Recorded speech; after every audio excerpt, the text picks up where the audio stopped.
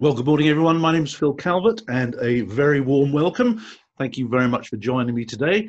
Um, I imagine everyone's working hard at home. Um, just got a couple of people asking questions straight away. Let's just quickly see what's happening. Good, good, good. Okay, everything's absolutely fine. So, as I said, my name's Phil Calvert. Thank you so much for joining me today. Um, we're going to go at a fairly brisk pace. Um, I haven't timed this uh, to the minute, but we should be doing 60 to 90 minutes uh, something like that. Feel free to ask questions. Um, I'm trying to operate this on my own, so I can't guarantee that I can get to your question, but I've anticipated most of the questions that usually get asked. If I don't answer your question, uh, please do send me an email and uh, I'll be happy to get back to you personally. Um, my dog, I'm not, I'm not planning for my dog to take uh, a role in today's presentation, but it's entirely possible that, uh, that she will. So I hope we'll enjoy that moment when she comes. Uh, those of you that have to jump off at any particular time, um, we are recording this, so uh, we'll make sure that you get a, a copy um, at some particular point. So I hope you're sitting comfortably uh, and at a suitable uh, distance from each other, and uh, let's crack on. If we can get anything to work here. Oh, there we go. Okay, so a little bit of background uh, about me, just very, very briefly. Um, 20 years in sales and marketing, very much in the corporate world, um, arranging and speaking at seminars. Uh, then when I was made redundant, um, since then I've been speaking and training in my own right for about 20 years. Um, a bit of background, a few fascinating facts. I created the world's first social network in financial services, and I'll explain why that's relevant as we go. Um, I've written 20 books. Um, I used to be a rock concert photographer. There's a couple of my pictures, one of uh, ZZ Top, one of Judas Priest, both still going strong. And I officially uh, held the world held the record for making the world's best gin and tonic. I did that quite a few years ago. I entered a cocktail making competition. All the top bar men and women from around the world turned up at a hotel in London, and I won the world's best gin and tonic. Um, and if anyone wants to know the secret recipe, again, drop me an email and um, I, I, might even share it with you. Okay, my, my, my biggest moment in my career has to be this testimonial from uh, the great Nigel Risner. I don't think Nigel's on this call today, uh, but this is one of my favorites. I absolutely love it. And I've used this one on, on LinkedIn quite a bit, and it gets a little bit of a smile now and again. Um, and I'll explain why that's important as well as we go. Um, how did I get into LinkedIn? Well, I mentioned that you know 20 years ago uh, I was made redundant and I decided to start my own business, and um, I realised I'd got to get out and do some networking pretty quickly. Um, and um, I'd recently joined the PSA, um, and my local PSA was actually in Leatherhead in Surrey. Uh, it isn't there anymore, but it was run by this gentleman on the on the left, Reg Athwell, who I, I know one or two of you will actually know.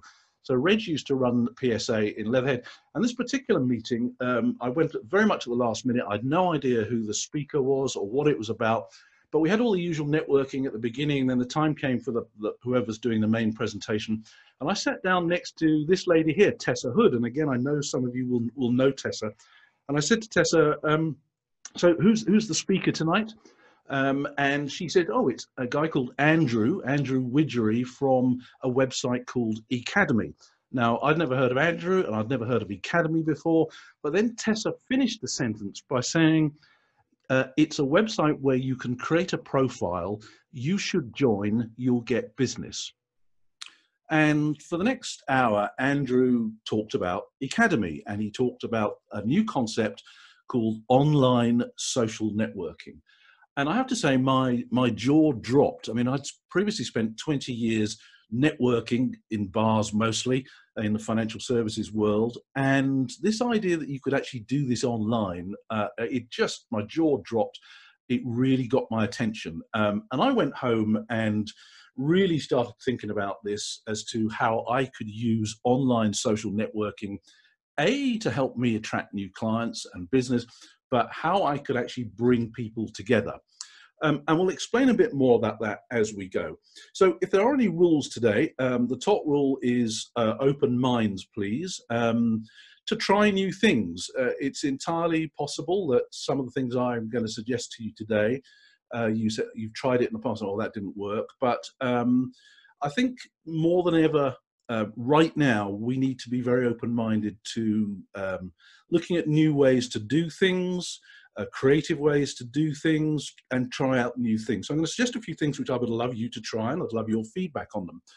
Um, I'd like you to be curious and also to create curiosity. Um, creating curiosity is very, very effective on LinkedIn. So we're going to uh, explore some of that. Um, reframing, uh, you know, again, there'll be some of you who'll hear some of the things I'm going to say and say, oh, I don't think that'll work or that's not worked for me in the past. Just take a step back and uh, instead of thinking, no, that won't work or that's not possible right now, to turn it into what are the possibilities with this? What could I do with this information that I'm hearing? Um, ask for feedback, get help from each other. Uh, I think one of the best things about the, the PSA um, is the sort of informal mastermind groups. Ask each other for, fee- for feedback on what you're going to hear today. And um, I'm going to invite you to trust what I'm going to tell you today. Uh, trust the process. There is a process to this. Um, a, a, lot of people forget that, uh, you know, like any software that you, you use in your business, unless you've been trained how to use it, you'll never see the full the full benefits from it. And at the end of the day, LinkedIn is a piece of software, uh, nothing more. And when you know how to use it and you know the processes to follow, then the magic starts to happen. So, how do speakers typically attract new business right now?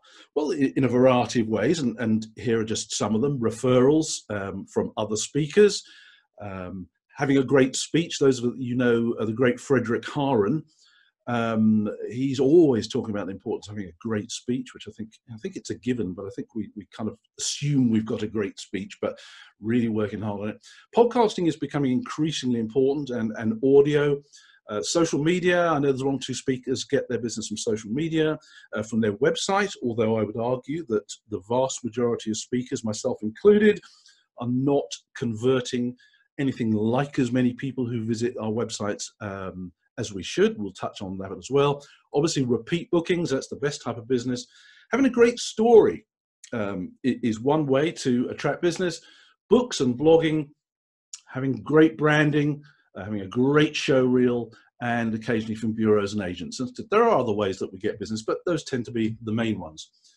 But there are a lot of people out there who are telling us that actually this is what we should be doing um, we should be using YouTube. We should have a podcast. We should have a better website. We should have a membership site. We should be on have our own Facebook group. Yeah, we should be running online courses, newsletters. Be on Twitter, running more events of our own. It goes on, it goes on, and it goes on. Now, I'm all for a little bit of experimentation as part of a marketing strategy, but to me, this is increasingly becoming, in my view, nonsense. It is just noise um, and it helps no one. And there are far too many people giving away their intellectual property um, in the hope that it, it that, that it's going to stick and people can track. Now, again, if your strategy is blogging, that's fine. That one thing is blogging. But this idea that we should be just using all these platforms is it is absolute nonsense. Um, it doesn't work you know, it is no different from just chucking leaflets out there into the air in the hope that someone will pick one up and say, "Oh, I've been waiting for this. I need to need to book them." We need to be very, very much more strategic. Um, my personal marketing for my speaking business is almost exclusively on LinkedIn. Um, and I use LinkedIn basically as the top of my funnel, and we're going to uh, uh, talk a little bit more about that as we go. So getting some real focus uh, is is very very important. And if I was going to recommend a resource right now, I'd strongly recommend that um, you get this book called The One Thing, which helps you to get real focus on focusing on one thing or one aspect of your business. And this also extends to your marketing and how you promote yourself it's my belief that the overwhelming majority of, of speakers can get all, and coaches and consultants can get all the business they will ever want just from using LinkedIn. So, uh, time and time again, I get asked, certainly by my clients, Phil, I see uh, Jones down the road, uh, they're using Twitter, perhaps we'll give that a go. And I see somebody else there using their Facebook page, perhaps we'll give that a go. And um, Fred down the road's using uh, YouTube, perhaps we'll give that a go. Um, and guess what? Give that a go is not a plan. It's not a strategy. If it is a plan, it's not a very good one. So we get far too wrapped up in the technology of marketing. Um, and really, at the end of the day, is nothing to do with technology. It is everything to do with technique. Um, so we're going to explore a bit more about that. It's everything to do about how do human beings interact and engage and communicate with each other. And if we can get that in our heads, then the magic really starts to happen on LinkedIn. So that day when I met uh, Andrew Widgery from Ecademy, he was talking about this concept of social networking. And I think in many ways, if we fast forward to today, I think we have sacrificed social networking for this thing called social media. Social media is noise. Um, yeah, you can control that noise to a certain degree. Um, and some would argue that to a, to a certain extent, there's a bit of social networking going on in there. Um, it's really important to remember that LinkedIn is a social networking platform. It's a real time social networking platform. And in recent months, very recent months, LinkedIn has recognized that far too many of its users are using it as a social media platform, as a broadcast platform. So, what the algorithm is seeking to do now is to reward users for networking. Um, so, I'm going to explain a little bit about how we actually do that um, as we go. So, a few questions so to me some there are some basics uh, that are right at the core of how we need to and how we can attract more speaking business. One is build your value ladder and we're going to explore uh, that concept there. And having a great value ladder um, really really can make your experience of linkedin very much more exciting. Get more traffic to your website and that links very very closely to um, the value ladder thing. And leveraging and building community. So we're going to explore all of these as we go. Now, I do a lot of work in financial services um, and I do a lot of training with financial advisors to try and encourage them to look and behave differently. You, know, you go down any high street, you'll find that one firm of accountants looks the same as another, one firm of estate agents looks the same as another, one firm of financial advisors looks the same as another. Um, and some of them say to me, well, that's not very fair, Phil. We are different from Jones and Co. Uh, just down the road. And I know that that is correct. They are different. But on the outside, whether it's a shop front or whether it's a website, they all look the same. None of us as speakers, coaches, or consultants are paid to look and behave like another speaker, coach, or consultant. The lady on the right is a professional lookalike uh, of Audrey Hepburn, in case you hadn't guest, she is paid to look and behave like another brand. And, you know, big corporates hire her to come along to their stand at exhibitions and we can all have a selfie with her and everything's nice. So she's paid to look and behave like another brand. No one on this call is paid to look and behave like another brand. We've got to start differentiating ourselves in a big way. Uh, and again, we're going to be exploring that. Now, at every conference I ever speak at, I ask people to put their hands up if they're on LinkedIn. And, uh, you know, everybody puts their hands up. It's as simple as that. It's rare to find an audience where uh, somebody doesn't put their hand up. I then say to them, now put your hands up if you know why you're on LinkedIn. And like three hands go up. We all think we know why we're on LinkedIn, but when I then say to them, and how many of you have got a written down, a formal written down LinkedIn strategy? No hands go up at all.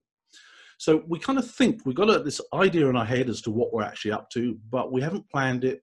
Everyone else is on there. So, you know, maybe you were looking for a job at one point, so you were using the site to try and attract something. The magic starts to happen on LinkedIn when you plan what you're trying to do. Um, it's a bit like if you want to put on a seminar or a workshop. When you plan it, when you put down some objectives, then you start finding that people turn up, you get bums on seats, and the thing goes well. And it's exactly the same on LinkedIn. You've got to write down what are my objectives? What am I trying to do? And even if it's on the back of an envelope, that'll just get something and get some focus going. And far too many of us are absolutely wasting our time when it, when it comes to LinkedIn. You know, whether you're using the app or whether you're using the desktop version, uh, you go online and the first thing you see is the news feed, which may or may not be relevant to you. Um, you then see the little red dot at the top right hand corner. Oh, maybe somebody sent me a message. Maybe somebody wants to connect with me. Uh, and then you go and see who wants to connect with you, and then you agonize, oh, should I be connected with them? Should I not be connected with them? Then you might go and visit a group and you find there's nothing going on in there. Uh, then you might go back to the homepage, and it's all just a bit fluffy. Um, so many people are wasting their time, but and without a plan, a plan of attack, where you do something very, very specific each and every day, um, we're wasting our time. And it, it is a simple fact of, of life that um, if you have a plan on LinkedIn, you will suddenly start finding your profile views start going up, the people who want to talk to you start going up, and the conversations that you have start going up as well. So get a plan, guys. Um, you know, I think there are still many, many people who think that LinkedIn is a job site. I mean, uh, it's a pretty fancy job site at that. Um, and yeah, LinkedIn still makes a, a, big chunk of its money from people advertising uh, jobs, but it is way, way more than that. We're going to dig into it. So, what is it exactly? I'm just going to put up the both columns here. What LinkedIn is trying to do, hand in hand with their owners, Microsoft, is to make LinkedIn an indispensable business tool. Um, if you want to advertise jobs, you can do that on LinkedIn. If you want to post blogs, you can do that on LinkedIn. If you want to find a, a, massive resource of learning tools, you can do that on LinkedIn. If you want to put your corporate numbers on there, you can do that on LinkedIn. You know, you probably noticed also the news, the latest news is on LinkedIn. They're trying to make it absolutely indispensable so that its users don't feel the need to go and visit other websites to get information on whatever it is they want to do. Um, so in some respects, they're trying to be all things to everybody. But one of the most important things LinkedIn is a search engine.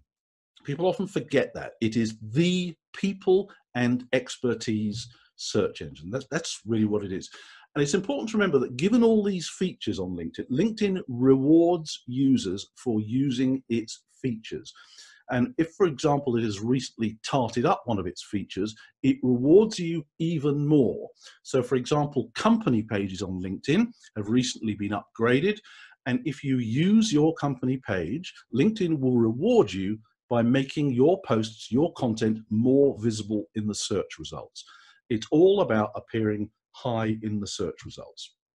Now, with 670 odd million people, we've got to make sure that we, that you get found uh, in amongst the crowd.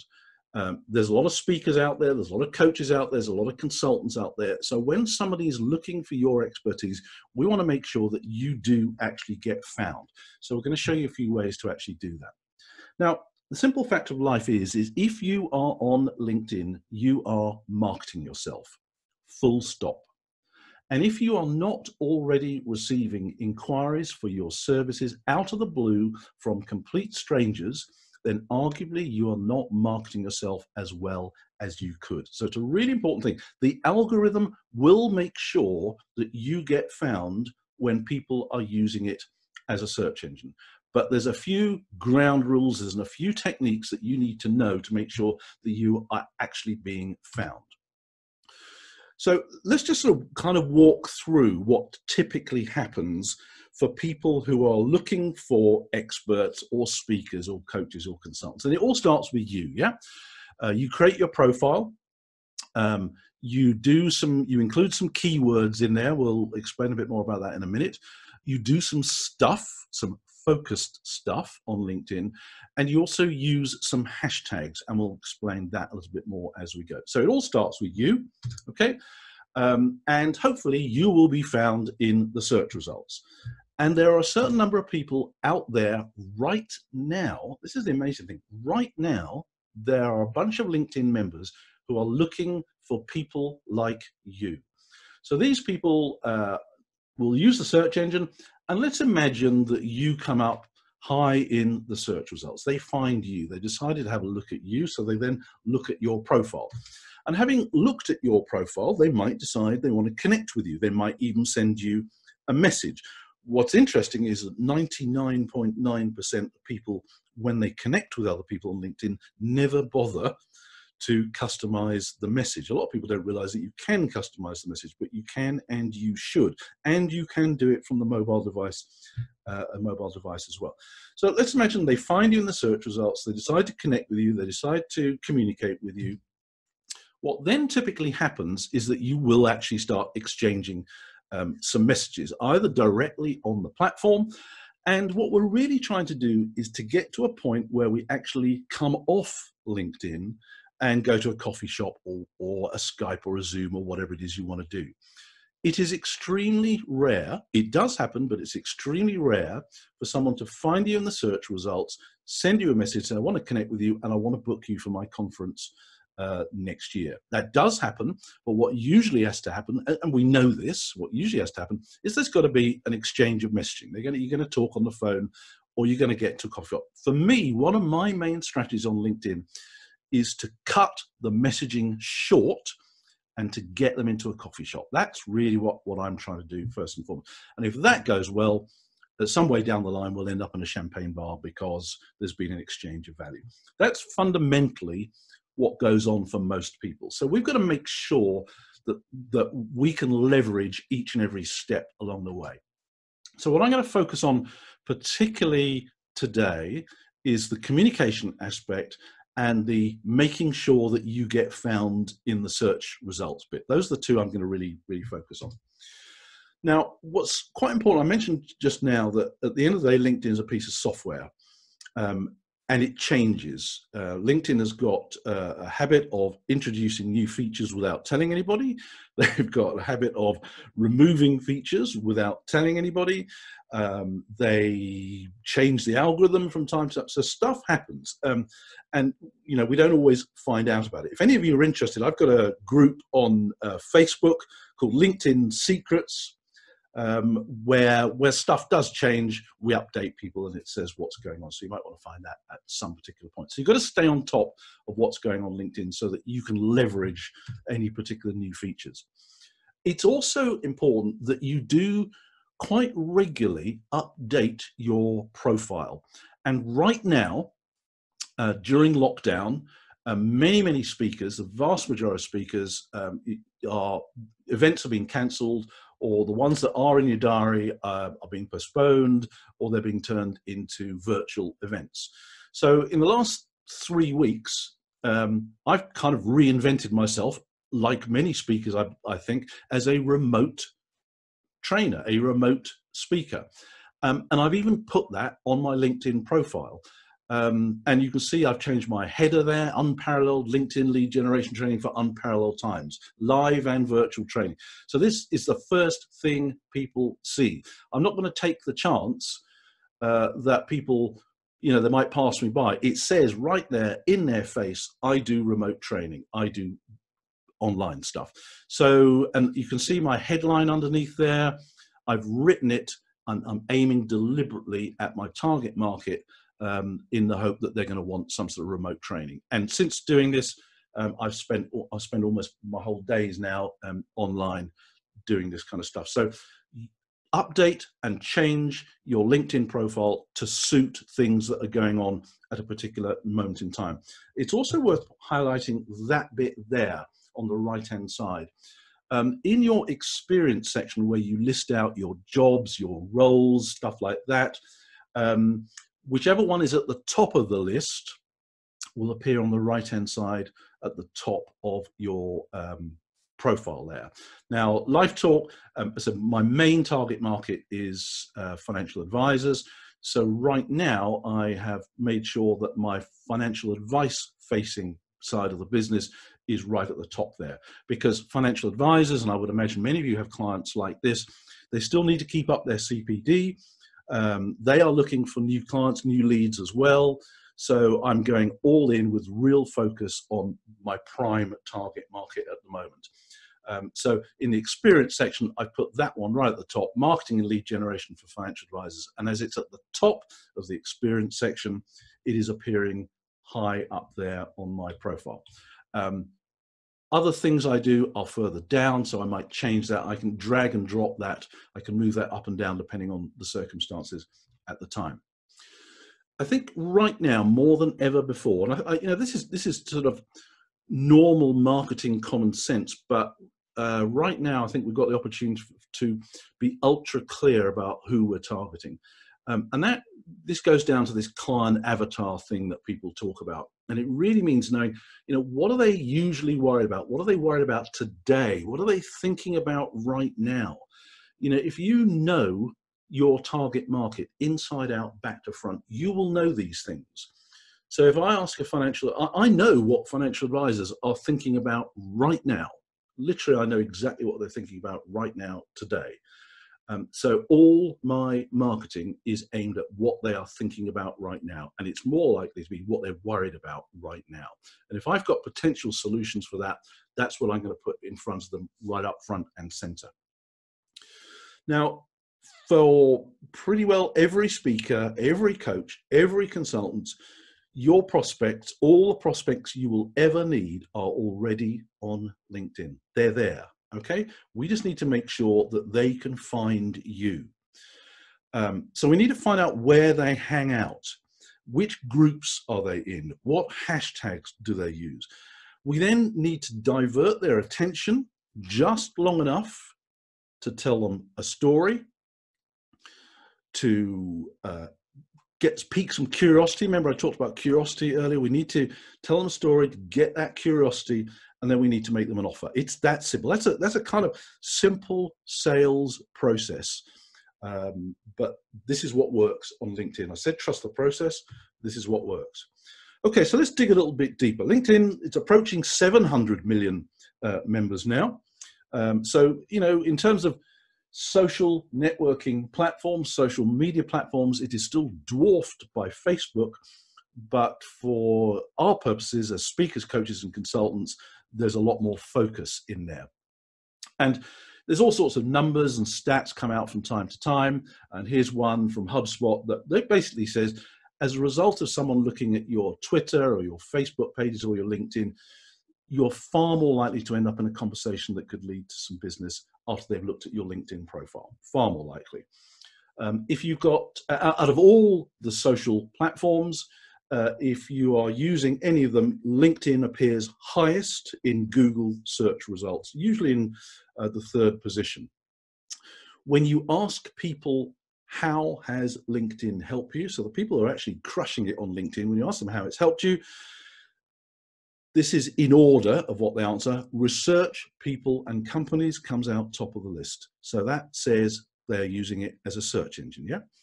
Reconnect with past associates and colleagues that do that second. Right now is a great time to reconnect with past associates, colleagues, and clients. We should all be doing that.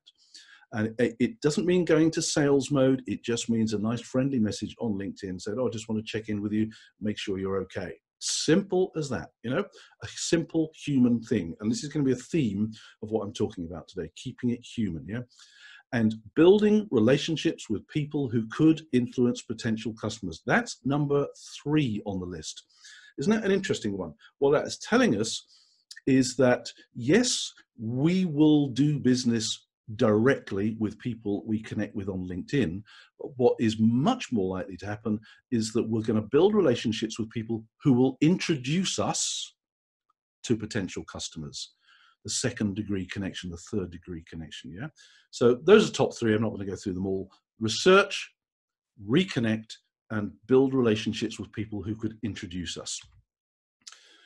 Um, and you know, LinkedIn wins hands down on a variety of things that are really important to us. Compared with uh, Facebook and Twitter, Google Plus doesn't exist anymore.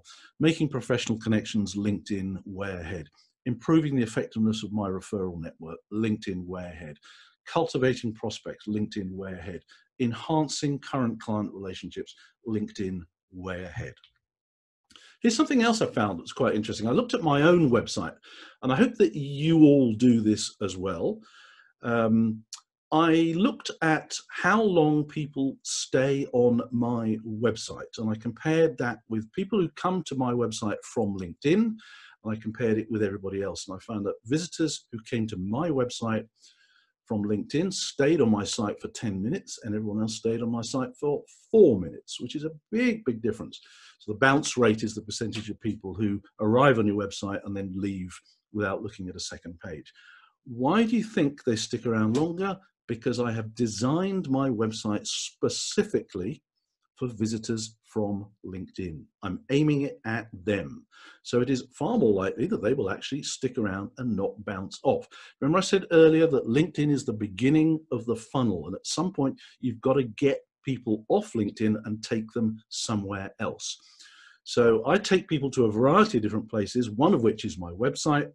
Uh, so I've designed my website specifically so that it appeals to people who arrived from LinkedIn. Okay, let's dig a little bit deeper. Hope you're finding this useful and you're getting a few nuggets so far.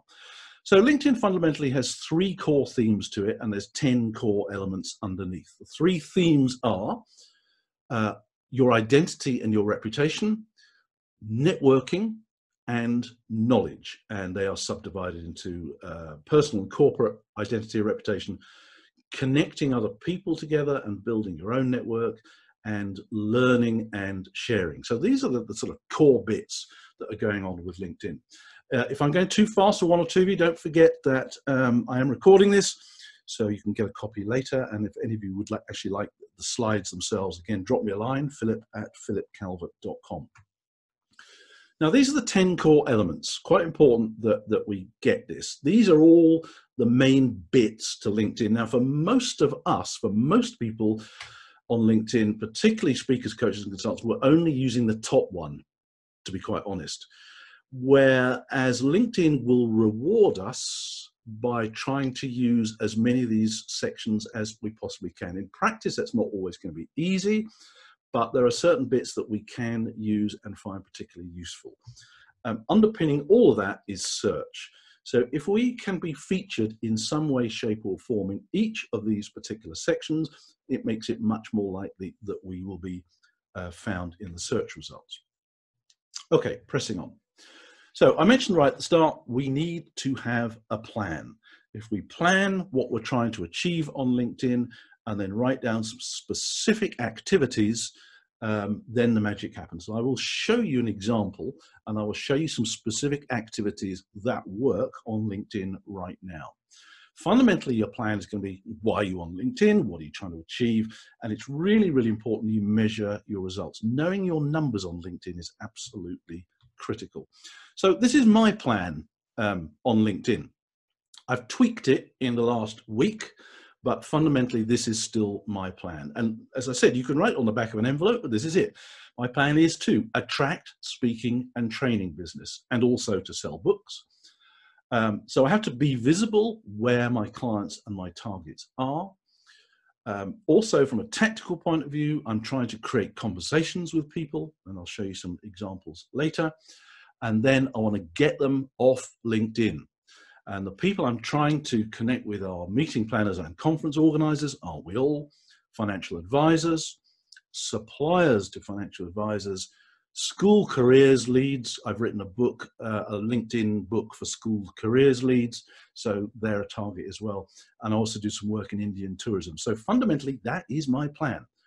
Um, how hard is that? Yeah, uh, and we could all, and you feel free to use that as a template um, but get it written down, pin it up on your wall. And when you find, when you've got it pinned up on your wall, it actually makes your daily use of LinkedIn very much more focused than um, it might otherwise have been. Right now, as I said, I've tweaked my um, plan in recent times, and I'm now just focusing on financial advisors and suppliers to financial advisors. And the products or the services, if you like, that I'm uh, promoting to them are LinkedIn training, uh, wider online marketing training, seminar selling training, website conversion training, uh, my books, webinars, uh, online communities. I, I run three online communities, so that is they are one of the places that I try to send people to. Uh, and in terms of suppliers to financial advisors, um, I'm trying to get them to advertise in my communities that I run for financial advisors. So again, I have written this down and it's pinned on the wall. And as a result of that, it gives me a lot more focus when I'm doing my online activity. So let's talk a little bit about the, this value ladder thing, because it, it, to me, this is really, really important. Those of you that um, follow Russell Brunson, the founder of ClickFunnels, Uh, he talks about the value ladder a huge amount, and it makes so much sense. If you, if you imagine our website these days, um, and it's the same for most speakers, in, in this day and age, when someone who's never heard of you before, and they might have found you on LinkedIn, they arrive on your website, and we expect them to jump all the way up to the top and purchase our what is probably our most expensive service conference speaking or whatever it is without any intermediate steps along the way that's a big ask in this day and age and so it makes you realize the importance of a show reel video because that gives people a sense of who you are but it is still a big ask people don't re- if they don't know us from adam uh, how can they trust us? How can they get to know us? How can they get a sense of who we are? How could they try before they buy? So I, I've, this is my personal value ladder aimed at financial advisors. Now, my most expensive service is a weekend marketing retreat for financial advisors. It's very expensive. Do it like once a year. Um, and we go to it starts on a friday and finishes on a sunday evening and we go to a very upmarket hotel and we get um, some other speakers in occasionally and we get some nice food and maybe do a bit of yoga something like that but it is a deep dive into marketing for financial advisors now i would love to be selling those every single day of the week um, and i could create a website that invites people to uh, come along to my weekend retreat but the chances of somebody who doesn't know me deciding to get their credit card out and, and purchase that are, are extremely remote, extremely rare. So I've got to sort of give people the opportunity to get to know me, get to try and trust me. Uh, and I do that through a series of steps. And the steps start at the bottom. So if I meet every single financial advisor I ever meet, I invite them to join my uh, free Facebook group for financial advisors. I've also got a group on LinkedIn because some financial advisors don't like Facebook, so they join the LinkedIn version instead. And that's free. And it is just jam packed solid with resources for financial advisors. There isn't a single question that any financial advisor could ask about how to run a financial advice business that hasn't been answered in that form. And it's free. Uh, and then occasionally um, I'll offer a free ebook. And then if they like the free ebook, they might then say, go on to Amazon and say, well, let's see what else Phil's got. And they might purchase my book. It's an easy purchase for people to make. It's inexpensive, but you know, they're getting some serious value now. Then I might invite them to come on a webinar. It might be a free webinar, but it might be a chargeable webinar. And if they like that, they then might get their credit card out and pay a couple of hundred pounds to come along to a live workshop. And some of them will want to go on for coaching calls and so on and so forth slowly but surely we're pushing people towards the top. In fact, there's no pushing at all. If they like what they see, it makes it almost an inevitable next step for them to want to move up and up and up. And those of you that follow, say, people like Tony Robbins, uh, know exactly what I mean by um, a value ladder. You know, if you've never heard of Tony Robbins before, the first time you'll ever come across him will probably be a, a, a, video on YouTube. And if you like one, you'll watch another, then you'll watch another. And before you know it, you've spent two or three hours watching Tony Robbins videos. Then you'll go over to his website, you'll get his free book. Uh, then you'll join one of his webinars and so on and so forth. And you might even end up, um, what is it, his platinum group or something like that, where you'll end up spending the weekend with him at his home in, um, in Fiji. That's a value ladder. And every single speaker could and I believe should create a value ladder. I think many, many speakers have got different products and services like this, but they're not ordered in a deliberate, strategic way that is designed to push people right up to the top. Um, and as I said, LinkedIn is a place where I start gathering people and driving them towards free uh, communities or free ebooks. And, and here it is, uh, here is that shown visually. Um, on the right hand side, I've got how I deal with suppliers to financial advisors. On the left hand side, I've got financial advisors.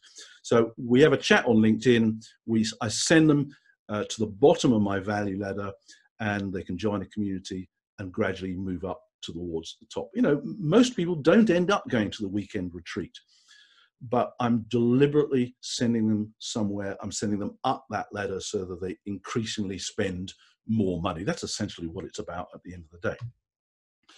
Um, I mentioned earlier um, having a plan for your use of LinkedIn.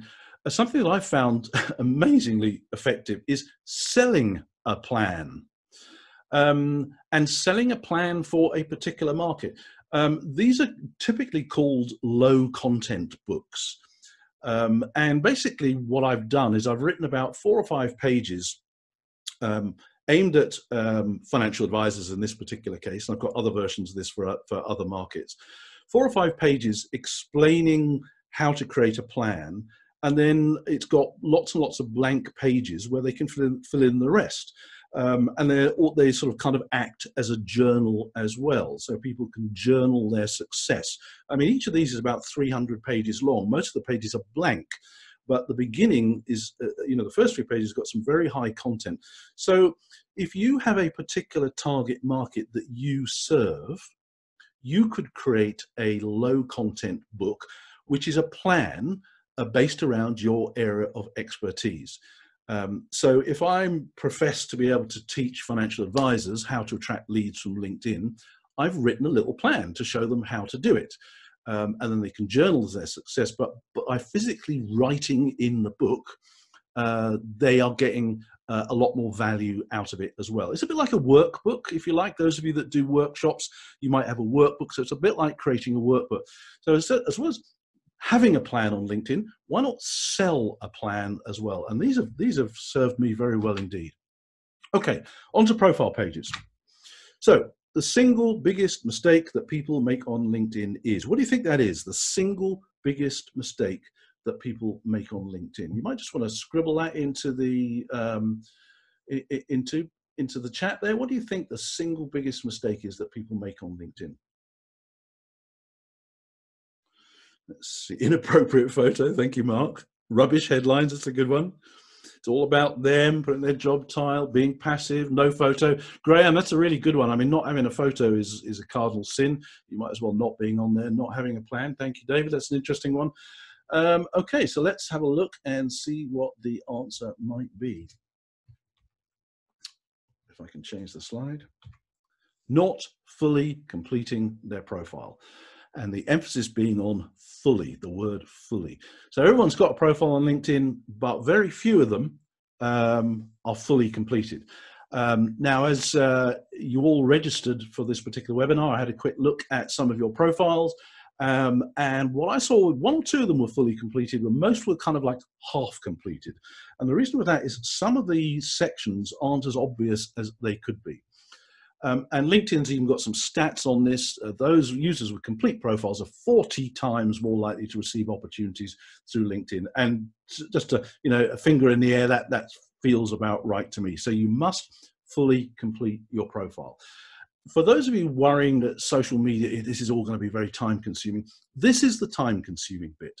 But we've got plenty of time on our hands over the next few weeks, I would imagine. So now is the time to really go to town on filling out your profile. And you need to fill it out in detail.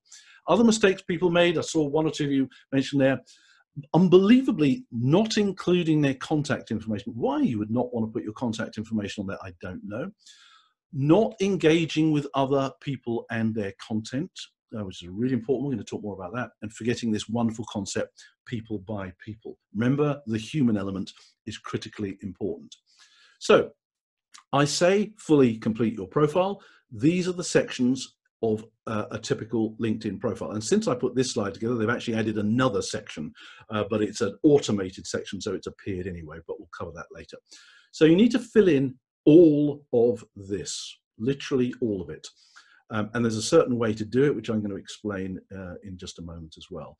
So if you can have a stab at filling every single section out, it will it literally it will make an immediate and measurable difference to your visibility on LinkedIn and the number of profile views that you get.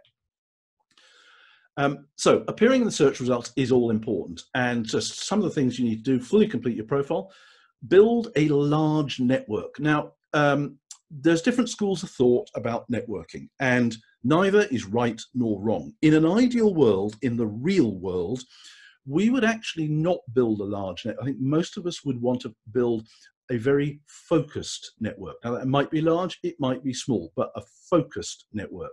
However, on LinkedIn, they reward you for having a large network. So, from my point of view, um, I accept connection requests from pretty well absolutely everybody who wants to connect with me, with the exception of obvious spammers. And, you know, they stick out like a sore thumb. You need to include hashtags in your posts. We'll talk more about that later.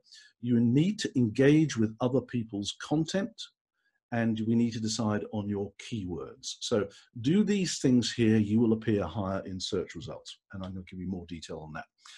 Um, having a fully completed profile on LinkedIn also helps you with your Google search results as well. So if I Google my name, my own website comes up top. Uh, the governor of Maryland in 1626 comes in second, um, and my LinkedIn profile comes up in third place when I Google my name. Okay, so let's nail this profile. And there's a clue, what I'm about to say, there's a clue in this particular picture here. Um, we've got to differentiate ourselves. We've got to stand out from the crowd. We don't want to bore the pants off people, okay? So we've got to ask ourselves some very simple questions. Does our profile page capture attention immediately? Does it empathize with our visitors' problems? Does it communicate in a tone that's unique to you? And do we avoid unnecessary jargon? We do actually need some jargon. I'll explain that in a minute. And does it have a clear uh, call call to action. You know, in any other, if we were doing sales training right now, I think the sales trainers amongst us would say that looks like a fairly typical um, sales approach. But you apply it to your LinkedIn profile as well. But underneath it all, underpin it all with the concept that people buy people. Yes, you've got expertise. Yes, people will be looking for that expertise, but they will buy you before they will buy your expertise. So I've devised a kind of a profile test. Um, it's a and it's quite a high bar, and your profile has to meet this high bar. And the high bar is, yep, you've got to be absolutely irresistible. Uh, let me explain what I mean by that. Now, my wife is a, a careers lead for a secondary school, and she hires speakers to come in and talk to the students. So I, one day I said to her, uh, I sent her an email while she was at work and said, um, what? How would you define this? If you're looking uh, on LinkedIn for speakers or you're looking for people, how would you define uh, irresistible? Um, 30 minutes later, she replies, she sends me an email. There's no, she doesn't write an email, she just attached a picture, and that's the picture that she attached to the email. I thought, okay. And half an hour later, she sends me another email. And half an hour later, she sends me another email. And then finally, she sends me an email and she writes in there, I like this game. And she sent me this attached to an email. So I, I kind of get what irresistible can mean at one particular level. Yep, I get that. That's absolutely fine. So what I'm going to do is show you now a real LinkedIn profile. Um, and we're going to see if um, the profile meets the meets the bar that I've set. So I'm going to show you this now. Okay. Um, just have a look at that. This is a real LinkedIn profile, and you, you might want to put in the chat there.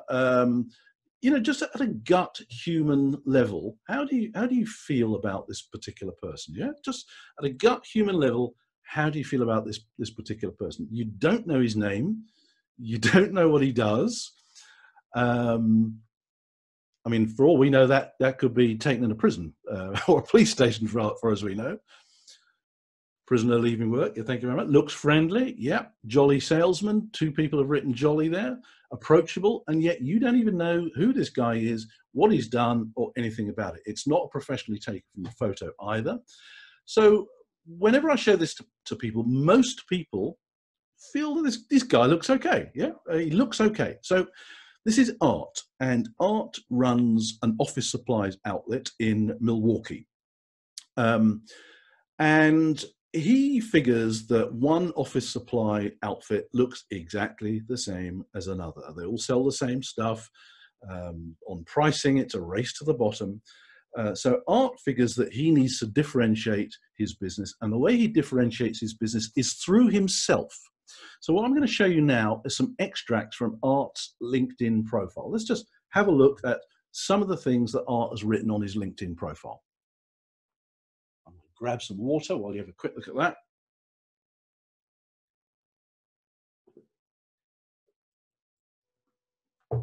Okay, and there's more. So one of two things is happening here. He's either just taking the mickey out of the LinkedIn system, and that's absolutely fine. Lots of people do that. You occasionally find some very, very funny LinkedIn profiles. Or this is how art differentiates himself. The testimonials for this guy's business are absolutely off the scale. Uh, he's also got an online service, but no one uses his online service because people, the good people in Milwaukee, would rather get in their pickup trucks and drive a few hours uh, to go to the store themselves in the hope that art will actually be there um, when they go there. Um, I connected with this guy quite a few years ago now. I looked at his profile, and an interesting thing happened. Um, he sent me a, a, message. He said, Dear Mr. Social Media Guy, he said, Thanks for taking a look at my profile. I imagine that you're putting a presentation together on how not to use LinkedIn. Feel free to use any of my uh, profile. And he said, and if you're ever in the Milwaukee area, come on around, we'll have one of my famous lunches. Now, that's what this is all about. This is what I'm getting at today. It's people buy people. Now, this is how he's differentiating himself. Now, I'm not saying that overnight we've all got to start laughing and joking and uh, and presenting ourselves in a way that we are not on LinkedIn. But what I am suggesting is that we try and get very much more of ourselves on LinkedIn. Yeah, really important. Unfortunately, these are the words that are on our profiles. Said, I've had a look at a few profiles, and these are the words that I saw. And they don't quite jump off the page like art's words, do they? You know, I'm sure all of us can tick off a few of these um, it's just dull. It's just boring. Where do these words belong? Probably on a CV, yeah? They don't belong on a real time networking platform where people buy people. Now, in fairness to all of you, uh, every year LinkedIn uh, releases a list of the most overused keywords, and this is the current list. And the list is pretty well the same uh, every single year. So we've got to really think about the words and the phrases that we're actually using on LinkedIn in both our profile and in our status updates as well. Just a few quick tips here. So write it in the first person. Stop this third person nonsense. Yeah, uh, John has been a, a, a, professional speaker for the last 20 years now. John, we all know that you wrote it, John. Okay, it just looks silly. So write it in the first person. Be nice and punchy. Tell stories. Get your punctuation right. Say something that will grab people's attention. If music is your first love, put it on the first line of your summary section. Get people's attention and then explain why music is your first love. Aim it at your perfect dream client. Now, as speakers, coaches, and consultants, we should all do this. We should write down on a piece of paper what our perfect dream client looks like, the avatar, yeah? um, and aim your profile at them in mind. And if we know our perfect clients, we know our perfect niche, we know their problems, we know what they're worried about, we know what they're thinking about, write it aimed at them and do it as soon as you possibly can. Yeah. What you'll also find is if you aim your profile at your perfect dream client, the people who are not quite your perfect dream client are actually attracted as well. They kind of aspire at a subconscious level to be your perfect dream client. So you can be assertive, you can be direct, get some personality, get some media in there. I'll explain that in a minute, and make points through visuals or presentations. Those are just a few quick tips, but we're going deeper. Um, when, when I say be um, focused and direct, I mean, for example, if you were a chiropractor, on the top line, or in, even in your summary section, you could write something like, Do you suffer from chronic elbow pain? Um, and then show you've got the answer. Um, be clear.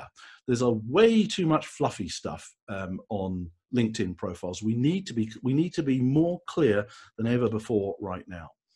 So your profile is not a CV, okay? Um, it's your online reputation. It's your online character. Um, get across your expertise, yes, but also get across who you are as a person. Equally, your profile is not a circus poster. Some people would argue that art's profile, I just showed you, some people would argue that art's profile is verging into circus poster territory. But he's thought it very he's thought it through very, very carefully. Okay, so now let's get down to keywords. Now, if you do nothing else as a result of this webinar today, do this, okay? Um, we said earlier we need to fully complete our profile, but it needs to be completed in a certain way. Um, we're not going to do this exercise right now because it will take up too much time, but feel free to do it um, um, afterwards. What you need to do is get a sheet of paper, whatever your writing tool of choice is, and write down 12 keywords that sum up um, who you are, your expertise, the problems you solve.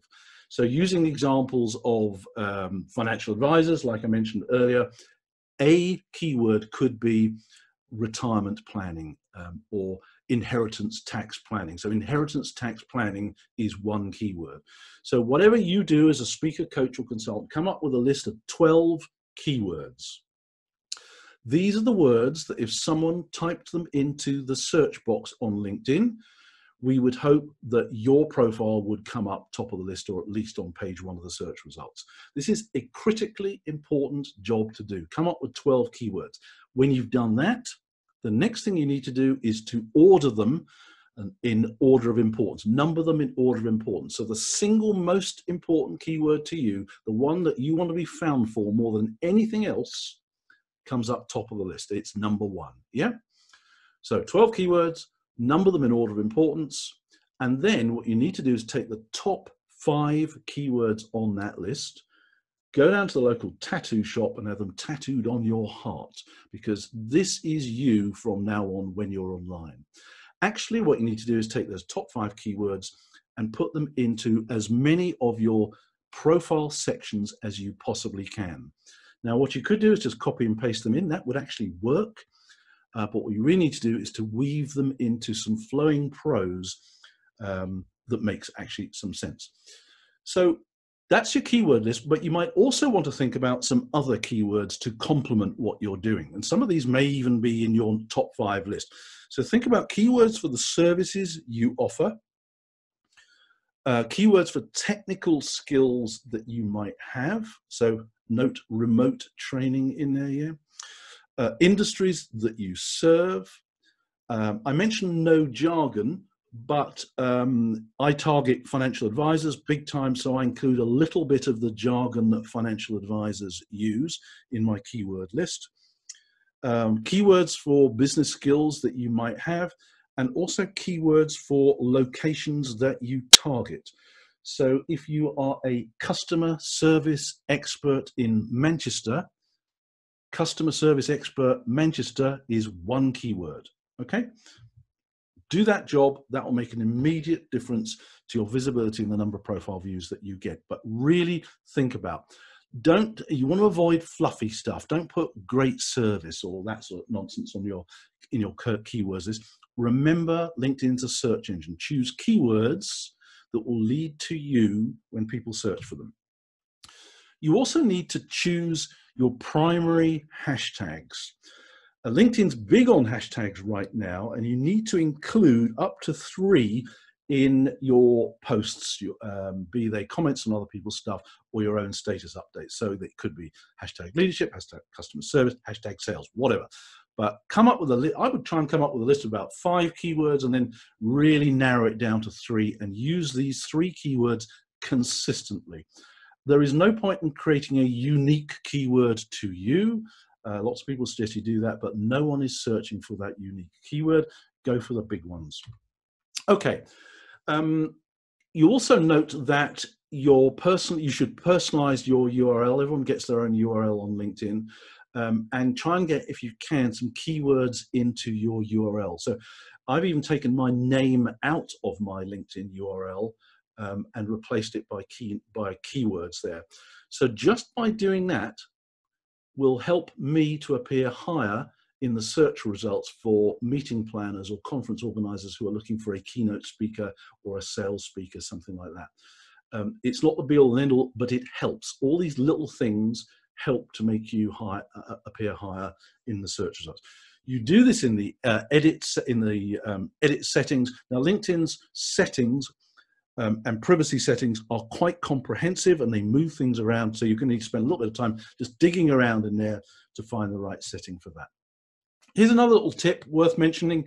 Um, if you have a, a, a, surname that is has an interesting spelling, um, you could also include in the summary section, put some common misspellings. Maybe I met, met Katie at a networking event last night um, and uh, she'd run out of business cards and um, we decided we are going to have a chat and she I, you know the following morning i can't find her I, I, didn't know how to spell her name but she's helped me to find her by putting some common misspellings of her name so whatever I type into the search box is going to help me to find her. Yeah, uh, Bill, uh, he does the same. Some of you know may, may know Bill actually. Uh, he's put some common misspellings of his own name in there as well. So little tip, but worth doing if your if your name has an interesting spelling. Um, here's an old version of my profile. Um, keywords in your professional headline. The headline is underneath your name. Now, what do you notice about my professional headline um, when I was using that? Is there anything you notice about it? Okay, first thing is it's a question. It's a question that's aimed at one of my target markets. Yeah. Um, if you can do that, uh, subconsciously people will answer that question. And the answer we want them to be thinking in their head is yes. That's what we're trying to get them to, to be thinking. Yes. Uh, what else do you notice about uh, my headline there? Well, it is also capitalized. Uh, it's a very old uh, copywriting technique that capitalize the first letter of each word. It makes all it does, it, it makes it look more important than it actually is. Um, copywriting is really, really important. Any of you, um, and we really need to learn it. Uh, it's a key skill for speakers, coaches, and consultants these days. Uh, anybody, any of you want a couple of resources on how to be a better copywriter? Just drop me an email, Philip at Philip Calvert, and I'll send you uh, a link to a couple of resources uh, that you can use. Now, Jeremy here, he's a financial advisor, and you'll note he's put keywords in his name. Yes, you are allowed to do that, um, as long as you don't abuse it. Yeah, like like this one here. Yeah, um, so that will help Jeremy to appear higher in search results when people are looking for a financial planner or a life planner. Uh, a financial life planner is a kind of cross between a financial planner and a life coach these days. So you can put keywords in your name. I would think carefully about doing that. Um, but it's, it's again, it will help you with search results as well. Okay, then we move on to the experience section as well. Now, the experience section is an interesting one. What most people think the experience section is, is to show where you are working right now, the job you've got, or your employer, or the company you work at. Um, and yes, that's fine, you can do that. But what it really is better at is what you are doing right now. Um, so, as speakers, this is fantastic. As coaches, this is fantastic. And I just want to give you some examples. So, in my uh, experience section, I could just leave it at that speaker, LinkedIn expert, trainer, whatever. Okay. But what I also do is I add um, new ones for individual speaking gigs. Um, so for one and a half hours, I was working uh, at a financial advice event in South Africa.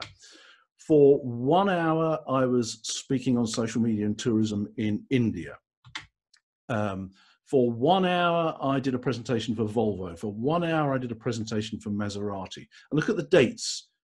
One month, that's the shortest period of time you can do. Now, I'm not going to put every single client on there. I'm just going to put the good ones. Um, but it gives viewers of my profile an opportunity to get a, a, better feeling for the sort of organizations that I'm working with. And it's also an opportunity for me to do what? To get more keywords onto my profile. Um, contact information.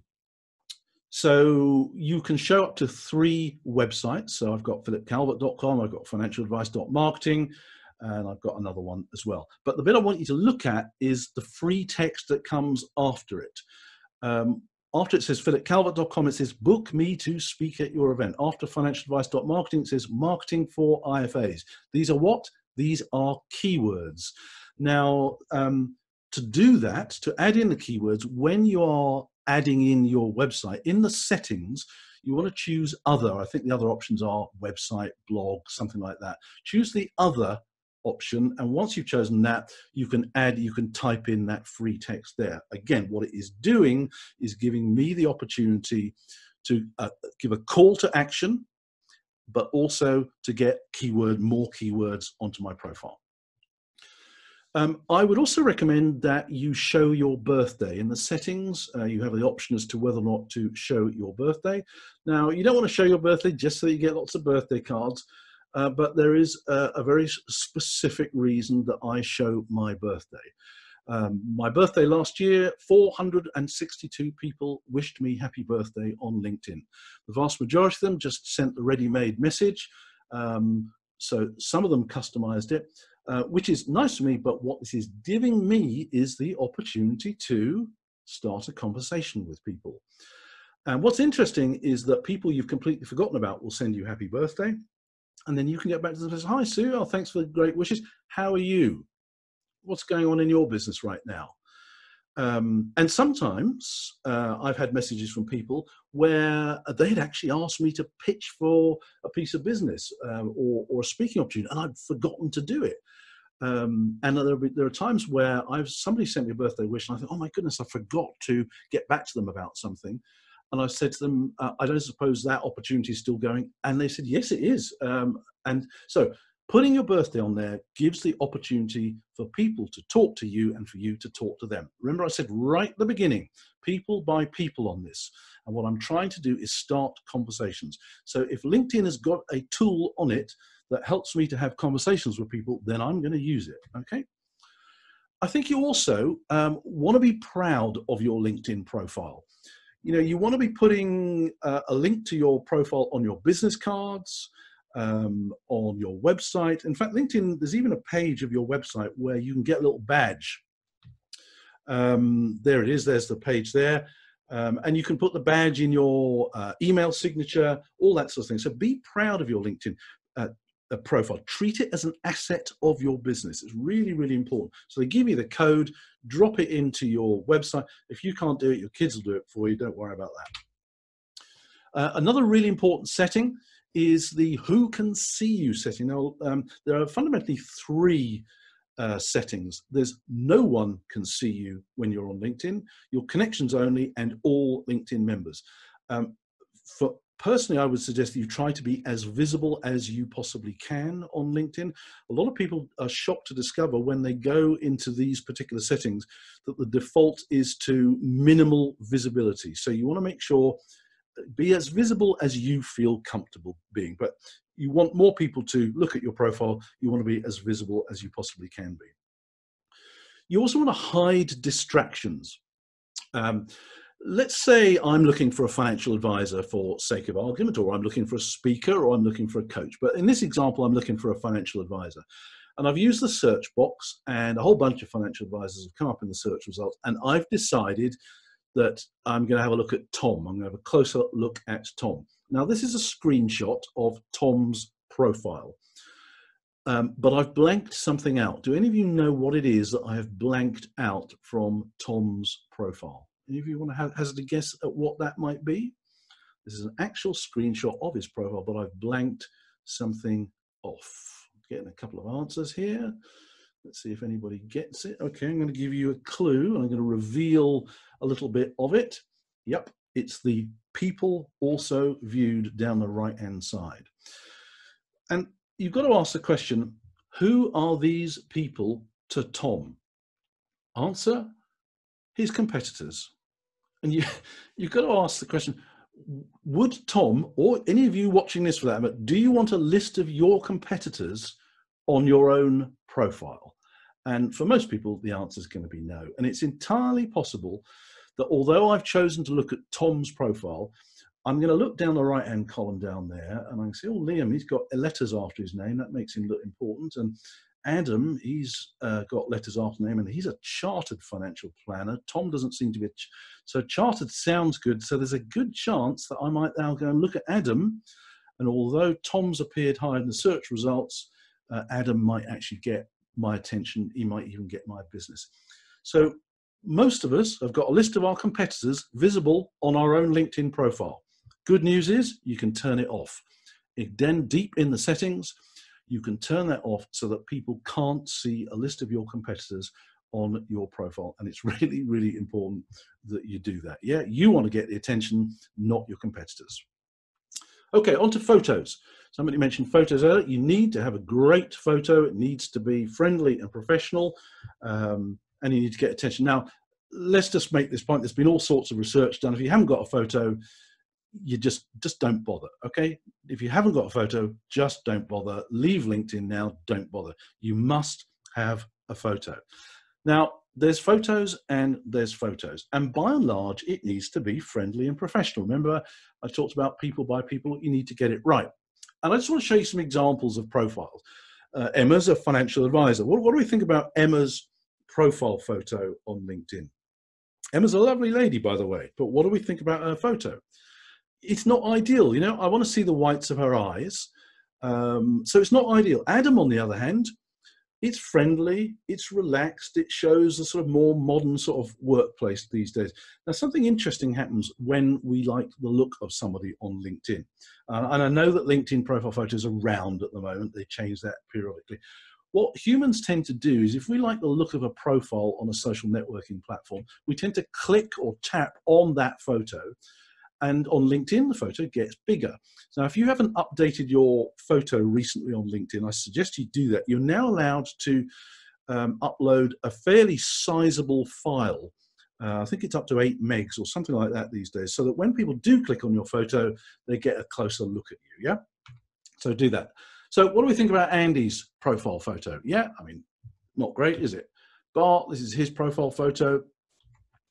This is a financial advisor, uh, unbelievably. This is a financial advisor. So we re you really got to think about this. And people put stuff on LinkedIn thinking it is just another social networking platform. Uh, they use other people's pictures as well. Uh, this one, but this one's interesting. Now, Ed is the, the, the financial advice equivalent of art that I showed you earlier. Uh, quirky sort of guy. He uh, Ed changes his so his clients expect this kind of stuff from him, um, and he's looking for a certain type of client that gets his sort of humour. So there's some kind of sense behind what he's trying to do do here. This is not a financial advisor, but it's a real LinkedIn profile photo. He's on there as well, uh, and again I collect the funnies that when we find them. But uh, I had a closer look at this particular profile, and I noticed that you know you can join groups on LinkedIn. Yep, there's a group for people who make wooden toys, uh, and this is so so important. There's a group for pretty well everyone on LinkedIn. I'm going to give you an example of that uh, in a minute or two. Um, join groups, join communities, hang out where your target markets are. Yeah. Um, and again, just a few real LinkedIn profile photos that are really aren't doing people any favors. This one, on the other hand, uh, this is a guy who runs a Lexus dealership in the center of London. His passion in life is the outdoor world. Uh, he loves climbing, hiking, walking, um, all that stuff. And he puts that on his LinkedIn profile. And so if you do have a photo that's a little bit different from the LinkedIn norm, this is his LinkedIn profile photo. If you do a photo that's a little bit different, have put some context to it. And so he puts in his LinkedIn profile, I just love the outdoor life. I've climbed this mountain, I've climbed that mountain, and all the rest of it. You know, he only needs one person who's looking for a Lexus or a Lexus dealership who also likes the outside world, the outdoor life. And, you know, they're not going to go to someone else because they have something in common. Um, and having something in common is very, very important on LinkedIn. So learn from the people who know what they're talking about. Jeff, boss at LinkedIn, his profile photo, friendly and professional. Dara, CEO Uber, friendly and professional. Melanie at Google, friendly and professional. And some guy I found here, friendly and professional. Okay, what else do we need to do on our photos? I think for most of us, when we're putting up a photo on LinkedIn, we have a tendency to think, well, we, we've got to look confident, uh, we've got to look competent, and I, I, think a lot of speakers do this um, that's actually not what human beings are looking for when they want to engage with other people. In actual fact, psychologists tell us that one of the things we're looking for most of all is are they trustworthy? Um, I, I, believe, I'm told that the only reason we shake hands when we meet somebody uh, is to prove that we're not concealing a weapon. Um, so trustworthiness is really, really important. So that, again, that's something to think about in your profile photo. Um, do you look trustworthy? Uh, how you measure that, I don't know. Maybe ask a friend, ask a colleague, uh, but try and get an element of trustworthy. One way of doing that, I've seen some people doing, um, is if you've part, if if you've got certain qualifications, to have your profile photo, but to have the uh, the certificates on the wall behind you. I mean, you're not taking a picture of the certificates, but they're just there as a sort of subliminal thing um, that, that you, you are an expert, you are qualified. It's important to add media to your profile, and these days you can add pretty well anything to your LinkedIn profile. You can add PDFs, you can add uh, images of you speaking, you can put spreadsheets, you can put PowerPoint presentations, and it's really important you do that because not everybody wants to read your carefully crafted prose on your website. Some people just like to look at pretty pictures, yeah? So do that. Um, and you can add these add these media to the experience section. Now, an interesting thing happened. LinkedIn, as you probably know, gives you stats on profile views that you get. Um, and I discovered when LinkedIn first introduced the ability to be able to add media to your profile, I added these pictures here, uh, and look what happens to my profile views. Absolute jump. So if you've not got lots of media on your profile, go add some in. Um, you can add, as I said, all sorts of different things, but infographics are really, really good ways of doing that. You don't need to be a professional graphic designer. Go to Canva, canva.com, um, and create some infographics. And I think I've got an example here. Yeah, uh, a financial advisor in the States, you know, he could have written a blog or an article about how to improve your credit score, um, but he decided to do it as an infographic. Um, and so some people are going to find that a lot more appealing than uh, text. There's also a brand new feature on LinkedIn um, where an the images on your profile um, are arranged into a featured section. Here, uh, Richard McCann has got some images, and this is quite a big section now. It appears uh, fairly near the top of your profile. You want to go check that out. Um, they're rolling it out right now, so you might actually have that already. Um, but it's an opportunity to show off your favorite images, your favorite bits of media that you've got. Okay. Uh, and don't forget the big header right at the top of your profile. That is a magnificent piece of real estate that is available to everybody on LinkedIn. You don't need to have premium membership for that. Uh, make the use of that. Yeah. So if you are a speaker, you want to have a picture of you speaking. Um, what you could also do is uh, you can't do this on LinkedIn, so you want to take your header image, go to a site like Canva or whatever uh, tool that you'll use, and add some text on top to really grab people's attention. Pete uh, is a financial advisor down in Cornwall, but he also is a YouTuber and he's got his own podcast. So he's using the header image to show a couple of stills um, from his YouTube and his podcasting work that he does. Um, images that are uploaded through your mobile device, uh, the algorithm seems to seems to like that as well. Uh, when I was speaking out in India, um, they have a, an elephant. Some of the big conferences, elephants seem to turn up, so you've got to have a selfie with an elephant. Upload that uh, using your mobile device uh, and put a little caption to it, and ideally in that caption include some keywords. So I, I think when I uploaded that picture on the left, I put um, I'm speaking here in India on social media for Indian tourism professionals. So upload some photos. Maybe you're speaking uh, uh on the right there. That's a, I think that's the, um, can't remember the name of the theatre in London now off the top of my head. Um, but again, I uploaded that to my profile as a status update from the mobile device. And I put, I'm speaking here in London today um, great venue, blah, blah, blah. Um, and if you meet up with other speakers as well, again, take selfies, upload them to uh, LinkedIn, but include some keywords in the text in your status update. Yep. Okay, moving on to the summary section. I hope you're finding this useful. Um, now, we're not all professional copywriters.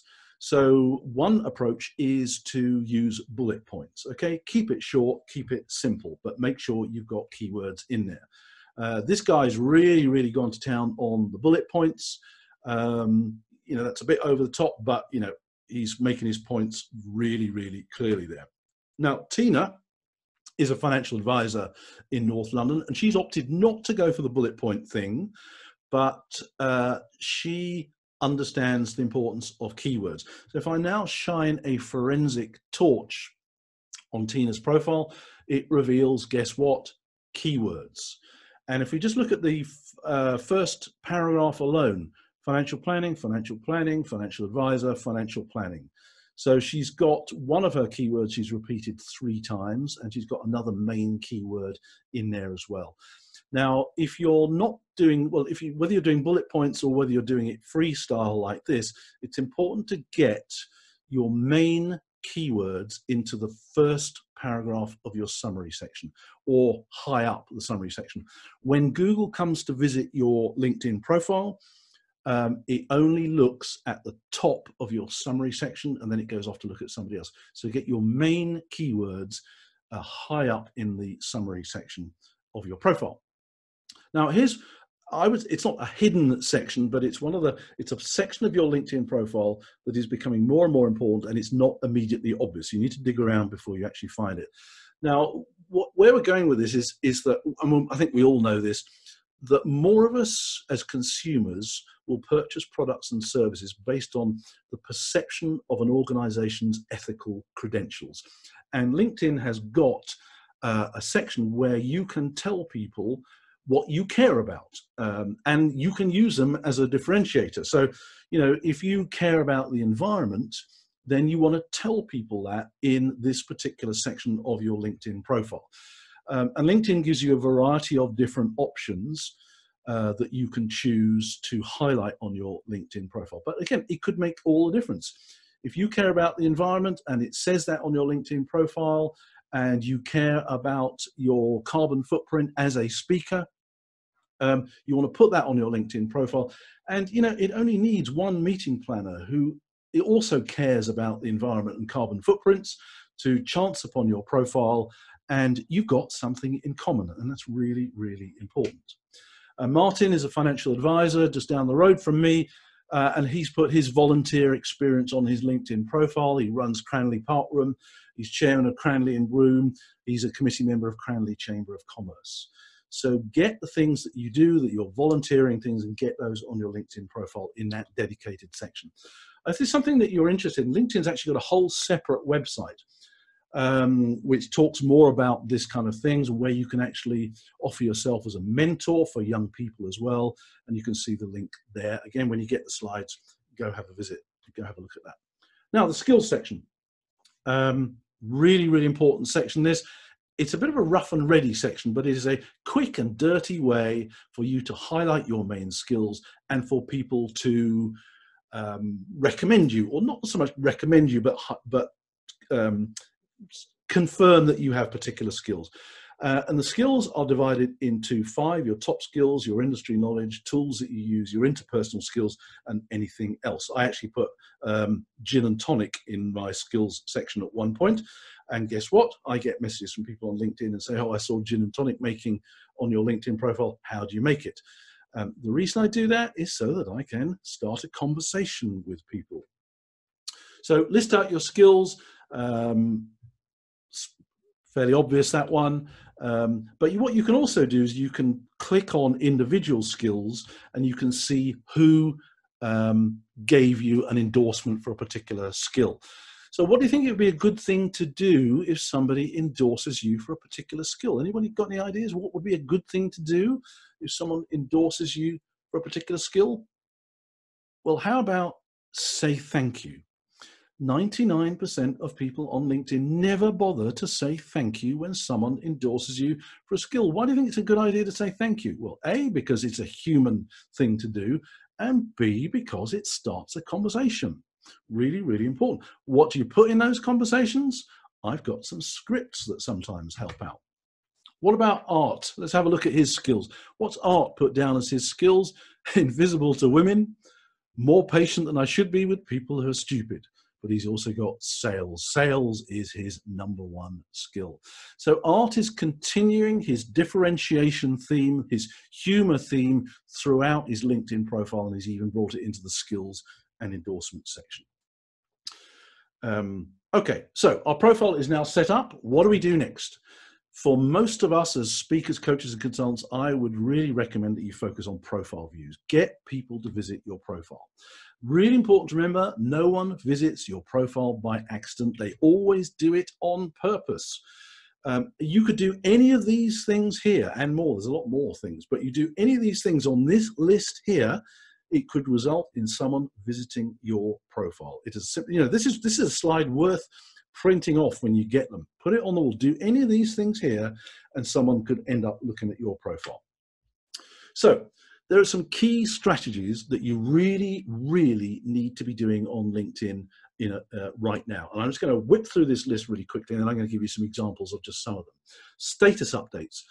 The worst type and the most common type of status update that we see on LinkedIn is where people go on and they and they put something like "check out my latest blog."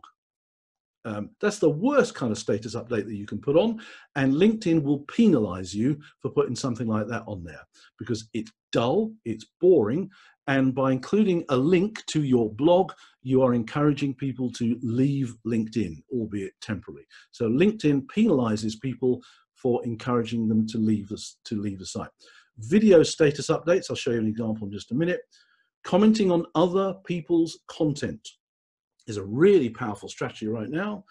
Comment on niche content, I'll talk about that in a minute. Comment in groups, live streaming on company pages, and audio messages and video messages. These are key things that you should be doing on LinkedIn right now, and LinkedIn will reward you when you do it.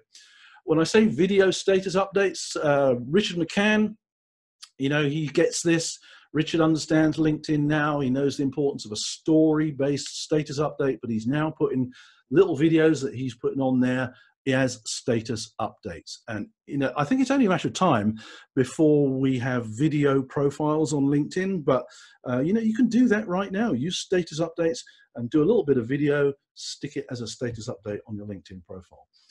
Um, I talk about people contacting you on, on LinkedIn and us contacting other people. A lot of people don't realize you can send voice messages to people on LinkedIn. You do that through the app. You know, if you want to stand out from the crowd, differentiate yourself, send someone a voice message instead. In fact, you can also send video messages as well.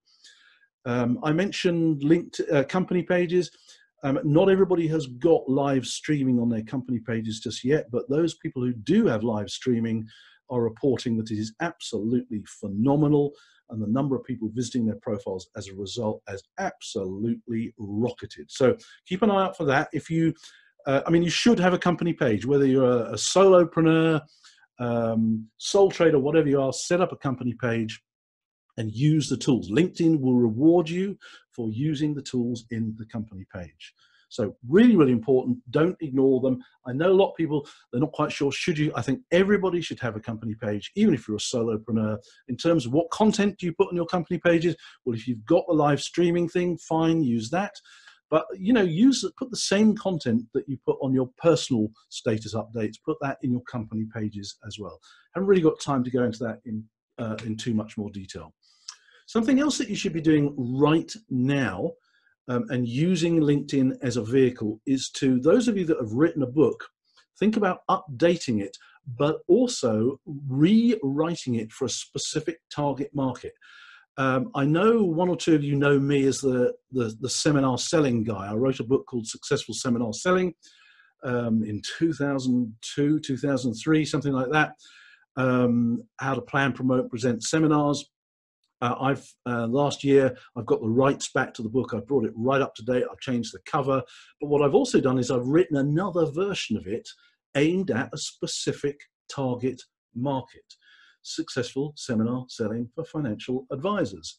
Um, get ultra focused, ultra niche. Remember, I said earlier about LinkedIn? Know who you are targeting. Be really, really specific.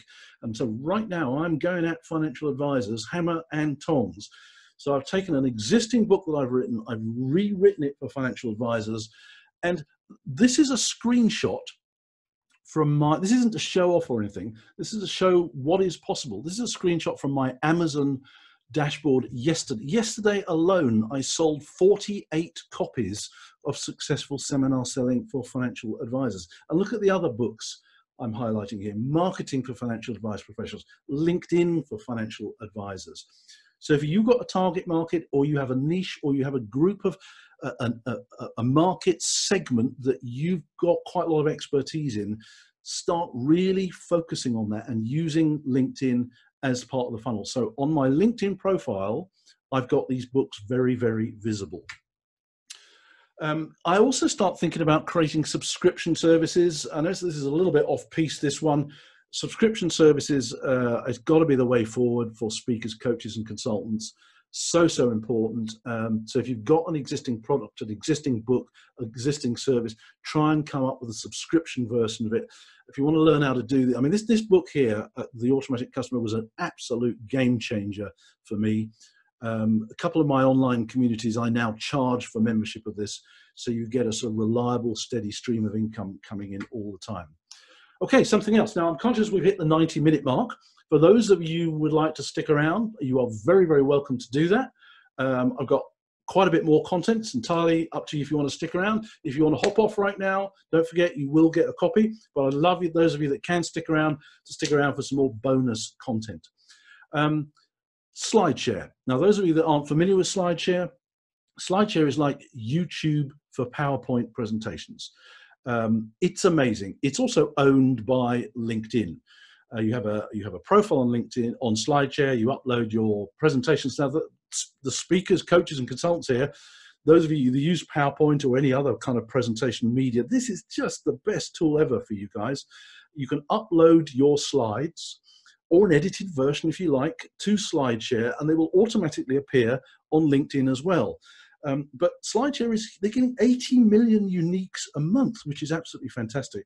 And one thing that you could do, I haven't got it on anymore, but it's a perfectly uh, va valid strategy. This is create a PowerPoint presentation that is only intended to be viewed by people who look at your LinkedIn profile.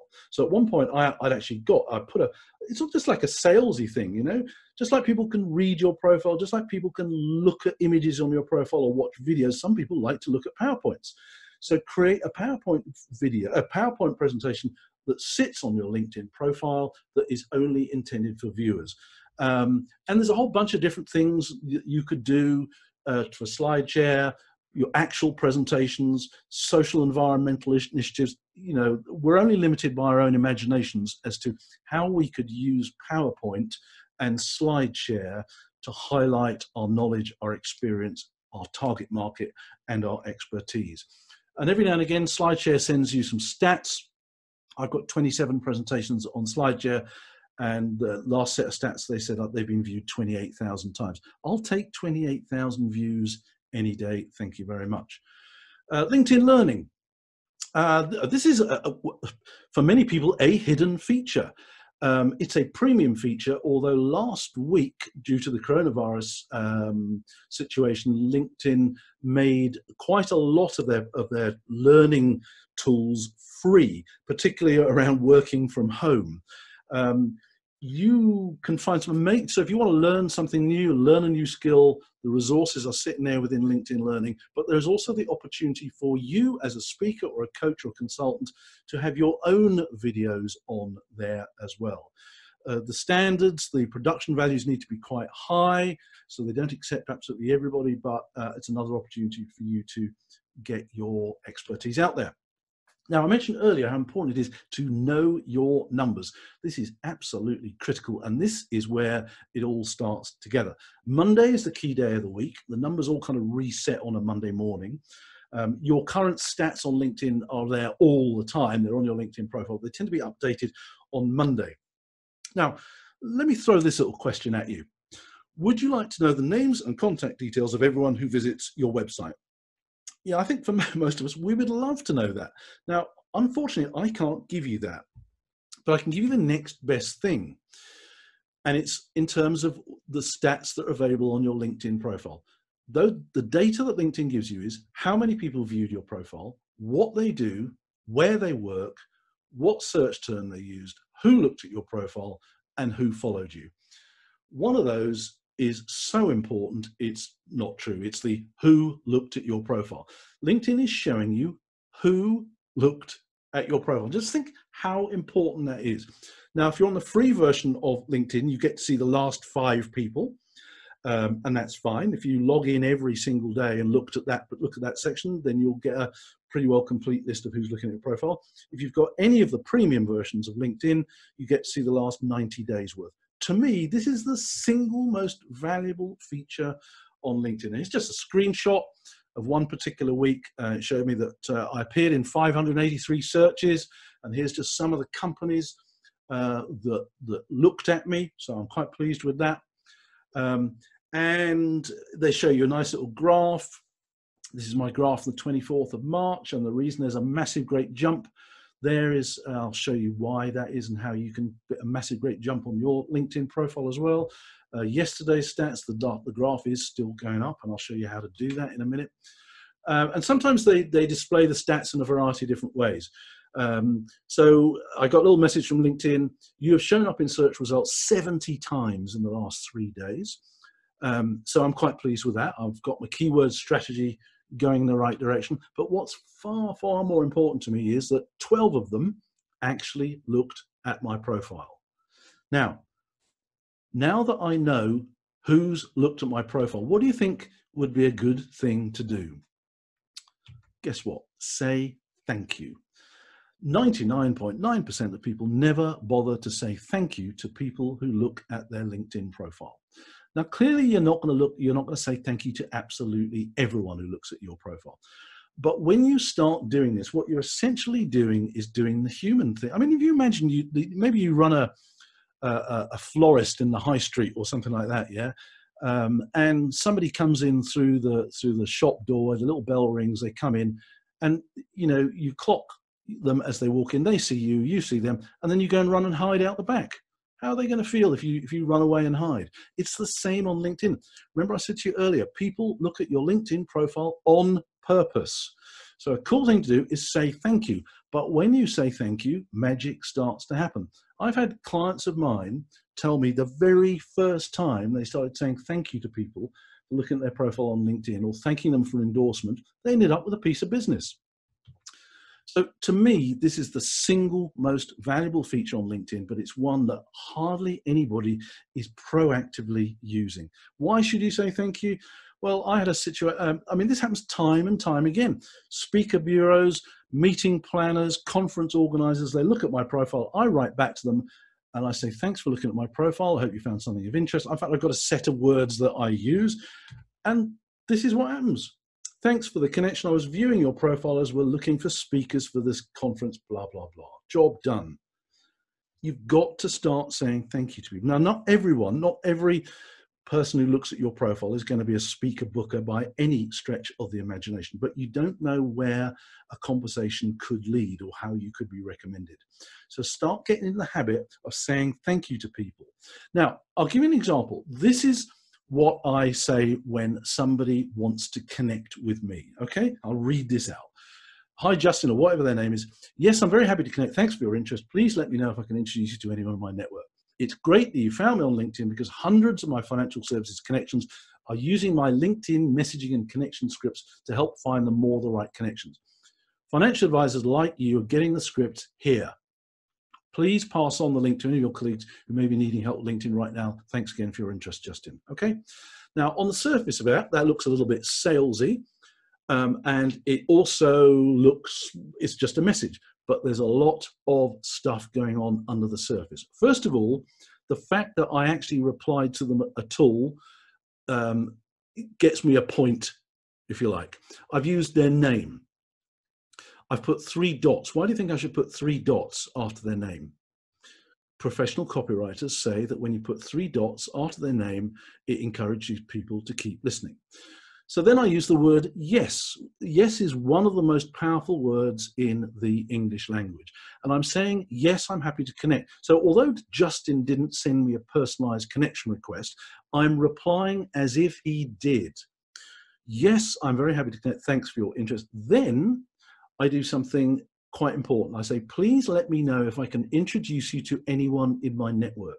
So what I'm there, what I'm doing right there is I'm offering to give him something of potentially very high value. Hardly anyone ever takes me up on that. But what I'm using is the law of reciprocation. Uh, reciprocation, if you give somebody something, it makes it much more likely they'll give you something back. So I'm giving them something potentially of high value, and that encourages them to keep reading. Then I go on to, it's great that you found me on LinkedIn because hundreds of my, uh, Justin's a financial advisor, hundreds of my financial connections are using my LinkedIn messaging and connection scripts to help them find more the right connections and prospects. Now I'm putting right connections and prospects because I know the financial advisor market. They want the right connections and prospects. So I use their language in a message to them. What I'm also using in that paragraph is social proof or nudge theory, as it's known. I'm telling him that other financial advisors like you are getting my messaging and connection scripts, and that then makes it very, very much more likely that he will want to get. And connection scripts, I mean, I've, I've found that so, so powerful. Any of you could, any of you, whatever you do, whatever your area of expertise is, if you can come up with ready-made scripts that people can use, people view that as a brilliant shortcut and they absolutely snap them up. Then I actually use the words, financial advisors like you are getting the script here. So in their head, they're thinking, well, everyone else is getting it, so I better get it as well. So I'm driving them off LinkedIn and I'm taking them to a particular funnel. Then I say, please pass on the link to any of your colleagues who may be needing help. Thanks again for your, your interest. And I use his name again and the words regards Phil. So it looks like a, a fairly regular message, but um, I get lots and lots of people replying to that, and we get into a conversation as well. Okay, now here's something incredibly powerful um, that I, have kind of alluded to uh, as we go. Using common interests. Now, some of you will recognize the guy on the left. This is Thomas Power. Uh, and he and his wife Penny were the founders of the Ecademy social network that I mentioned right at the start. Now, Thomas collects corks. Yep, he's kind of one of those sad people that collects corks. Um, now, when Thomas does networking training, he is a master networker. I mean, he and his wife essentially invented the profile, the social media profile. And one of the things on the Ecademy was that you used to be able to list out a list of your interests. And Thomas, when he does his network training, lists out his interests. And he's got dog walking, he's got holidays, he puts wine and corks. And whenever he puts corks, there's always a few people in the audience laugh. Um, and he knows they're going to laugh, and he always turns around to the audience and he says, Just out of interest, is there anyone else here who collects corks? And he finds that out of an audience of about 50 people, there's always a one, maybe two people who collects corks. And he's also got, he follows Manchester United, I think, and, he, he's got a few other interests. Uh, and he lists them out. Now, when the coffee break comes, he notices something very interesting happens he notices that the cork collectors gradually come together and they meet at the coffee machine. The people who like Manchester United come together and they meet at the, at the coffee machine. The people who like walking holidays come together and meet at the coffee machine. Human beings are naturally attracted to other human beings where you've got something in common. So how can you use that on LinkedIn? Now, LinkedIn used to have an interest section as well. So I'm going back to Tina, the financial advisor, but you don't, even though they haven't got this section, you can still do this, okay? Now, um, I said to Tina, what's the biggest issue in your business right now? And she said, finding a financial planner that, that can work with us who um, gets our culture. And I said, pick any word in your list of interests and I will find you someone for you to talk to. So she says, okay, being Greek, I'll choose bouzouki. So what we do, and this is using an old version of LinkedIn search engine, I click on the word bouzouki. LinkedIn shows me everybody else on LinkedIn who's also got bouzouki in their profile, and the algorithm organizes it with her at the top and then the most relevant person immediately underneath. And guess what? It's another financial advisor. Just happens to be in Cyprus, which by pure coincidence is where Tina has born was born. Now, we've got some interesting things. Already, they've got several things in common. They're both financial advisors. They both know Cyprus. They both have got bouzouki in their LinkedIn profile. Do you think they've got a chance of a conversation leading to? I mean, if she just got in touch with Paul and said, I'm looking for a financial advisor to come and work with us, do you think Paul's going to take any notice? Of course not. She needs to lead in with something they have in common. Now, I've done this myself. um, I mentioned I do work in financial services. For me, um, speaking at the annual sales conferences for a bank or a giant insurance company is a big deal. They pay really well. There's a load of people there. Hopefully, I can sell a lot of books. Now, uh, I do a bit of kickboxing, so I'm going to use this technique to find a speaking gig at a bank.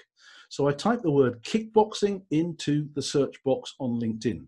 It shows me 50,000 people who've also got kickboxing on their LinkedIn profile. What you tend to find is the first page will be kickboxing instructors. I don't want a kickboxing instructor, I've already got one. He's fairly hardcore. What I want is someone who works in a bank.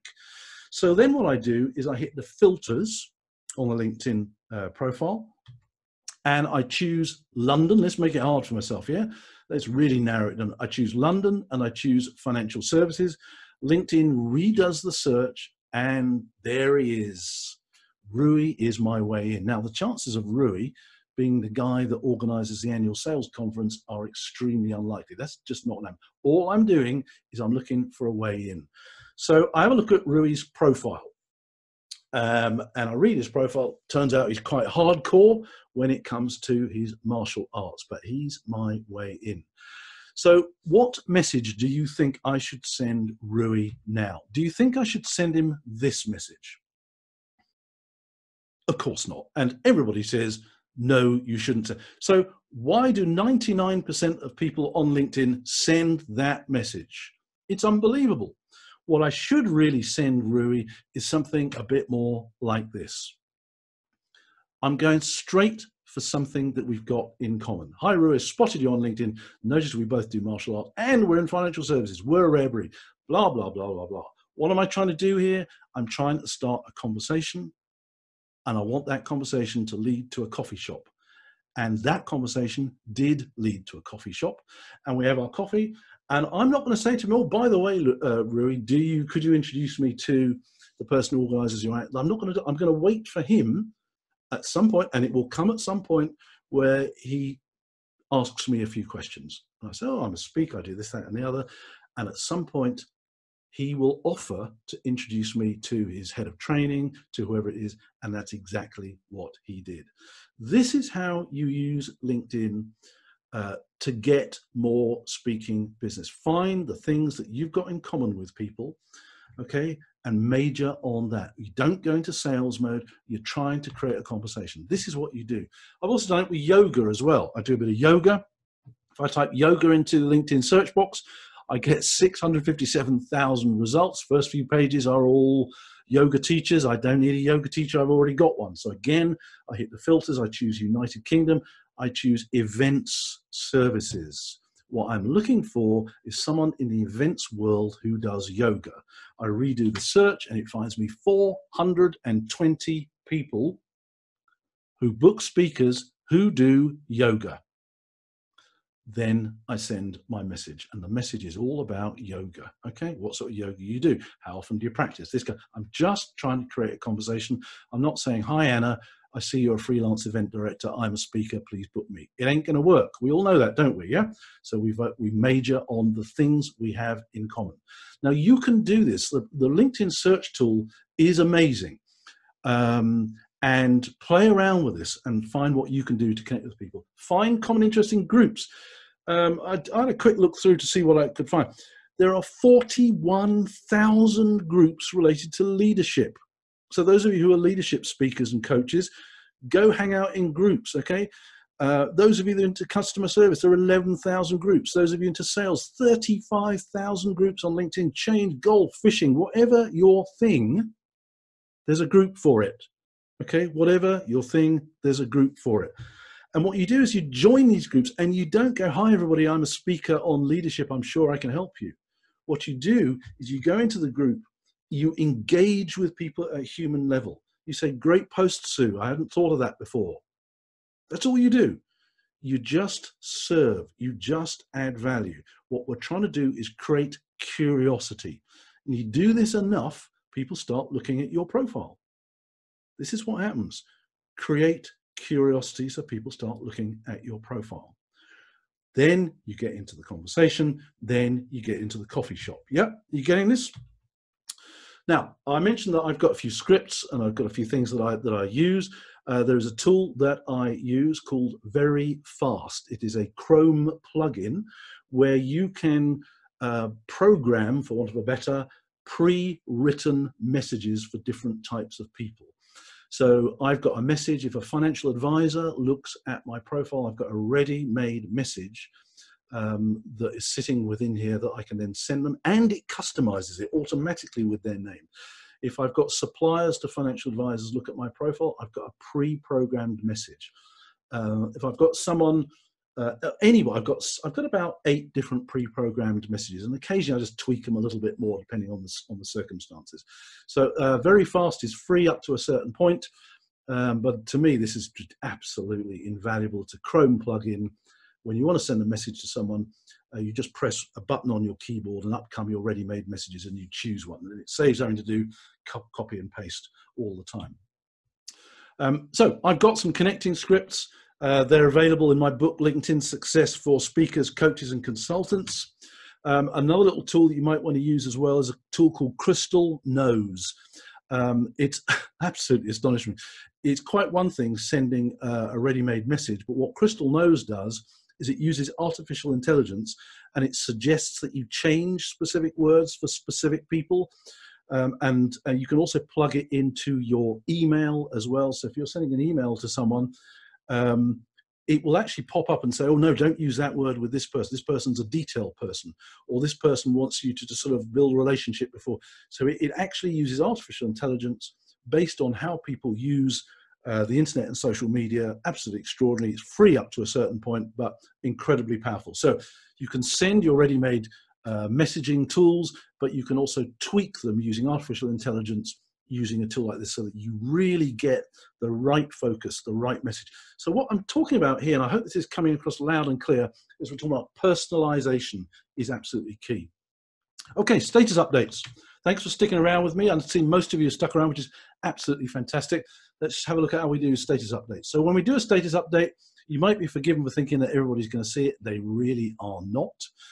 The algorithm shows the posts to relevant existing contacts first, and then it gets a score up or down depending on a variety of things. So broadly speaking, if people engage with your post, the score goes up, they show it to a few more people. Uh, if it gets um, a lot of engagement, sometimes a real person actually gives it gives it a bit of a boost. Um, but sometimes the algorithm works against you as well. So you just got to be careful. So there are certain things you can do that will get your profile views more more views. Um, some of you know John Young. I saw him posting on the PSA a group uh, only a couple of days ago. Um, he put a little bit of video as a status update. Um, and let's just break this down. I mean, this was a really, really good status update. So he'd done his shift at the BBC, came back, someone had nicked his bike. Um, so let's break this down. It was attention grabbing. Look, the word gulp right at the top there. Um, it's created curiosity. Um, he used a video. It was very timely because it's uh, highlighted coronavirus. It was very emotional. Somebody nicked his bike after a hard day's work. Yeah, there was a message in there, and he used hashtags as well. So that's a really, really good post. Uh, and, and that's the sort of thing that we should be thinking about. Yeah, tell a short story. Somebody nicked his bike, but there's context to it. It was within the coronavirus uh, situation as well, and it was video. So short stories about your daily life are very effective. Stop doing this check out my latest blog stuff. No one's interested. Here's one I did. Um, I was speaking over out in Bulgaria, um, and um, I put this is a status update. An hour ago, I checked the price of parking at Gatwick as I'm speaking in Bulgaria next week. Quoted 27 quid. Before booking it, I needed to go to the post office and then get a haircut. I've just sat down to book the parking. I'm now being quoted 52 pounds. Dope. Hashtag should have booked it earlier.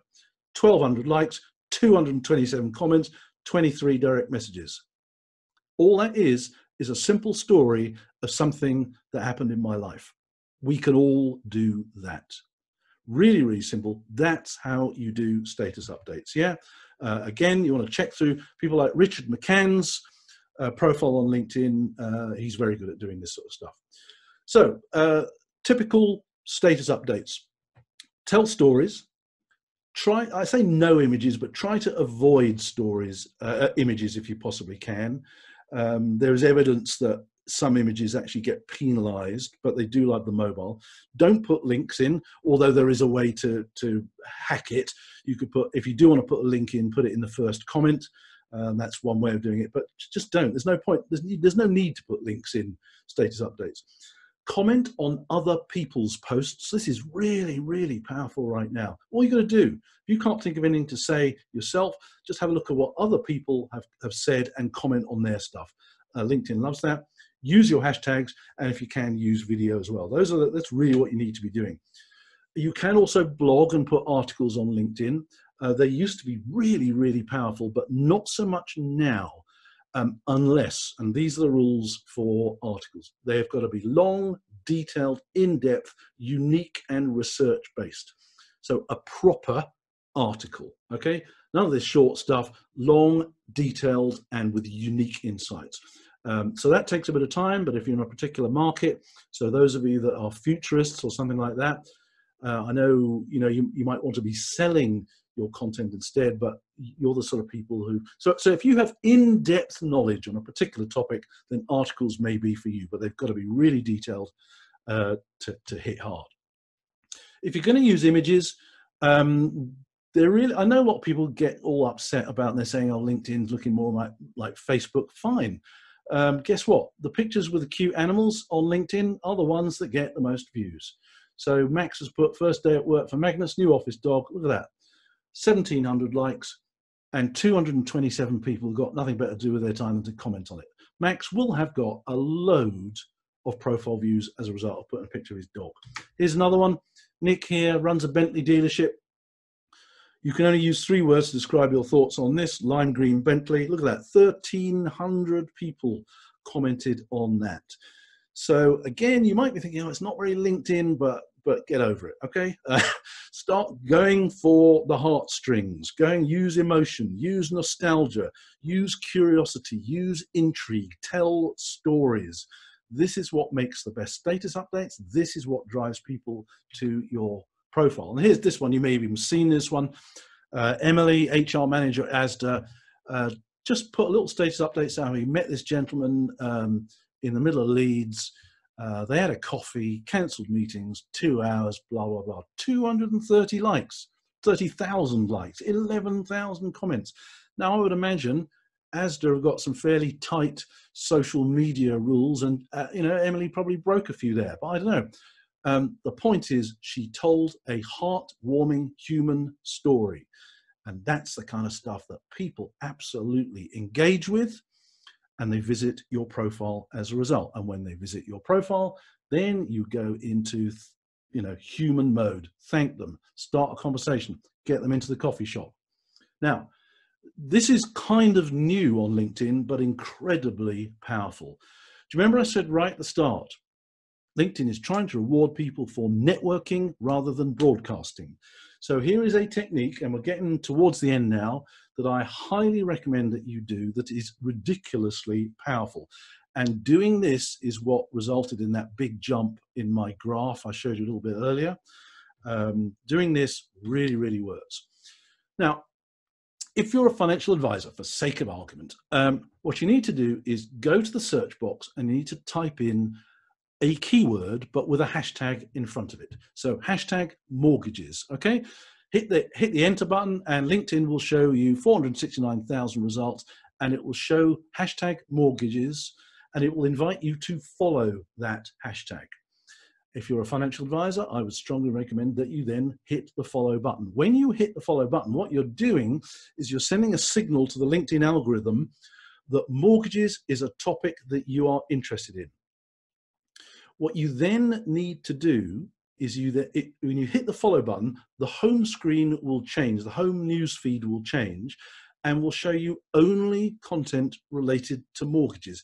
And then all you need to do is just scroll down and pick out individual posts and say, great post, John, or great post, Sue, thanks for the heads up. And then add in hashtag mortgages, hashtag something else.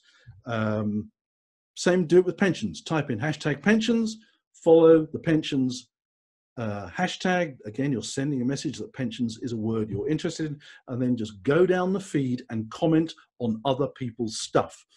If you are a leadership speaker, type hashtag leadership, hit the follow button, and then go down the feed and comment on other people's stuff. If you're into customer service, your customer service speaker, do exactly the same thing, okay? And the sort of message is this when I say comment on other people's stuff, it only needs to be as simple as this.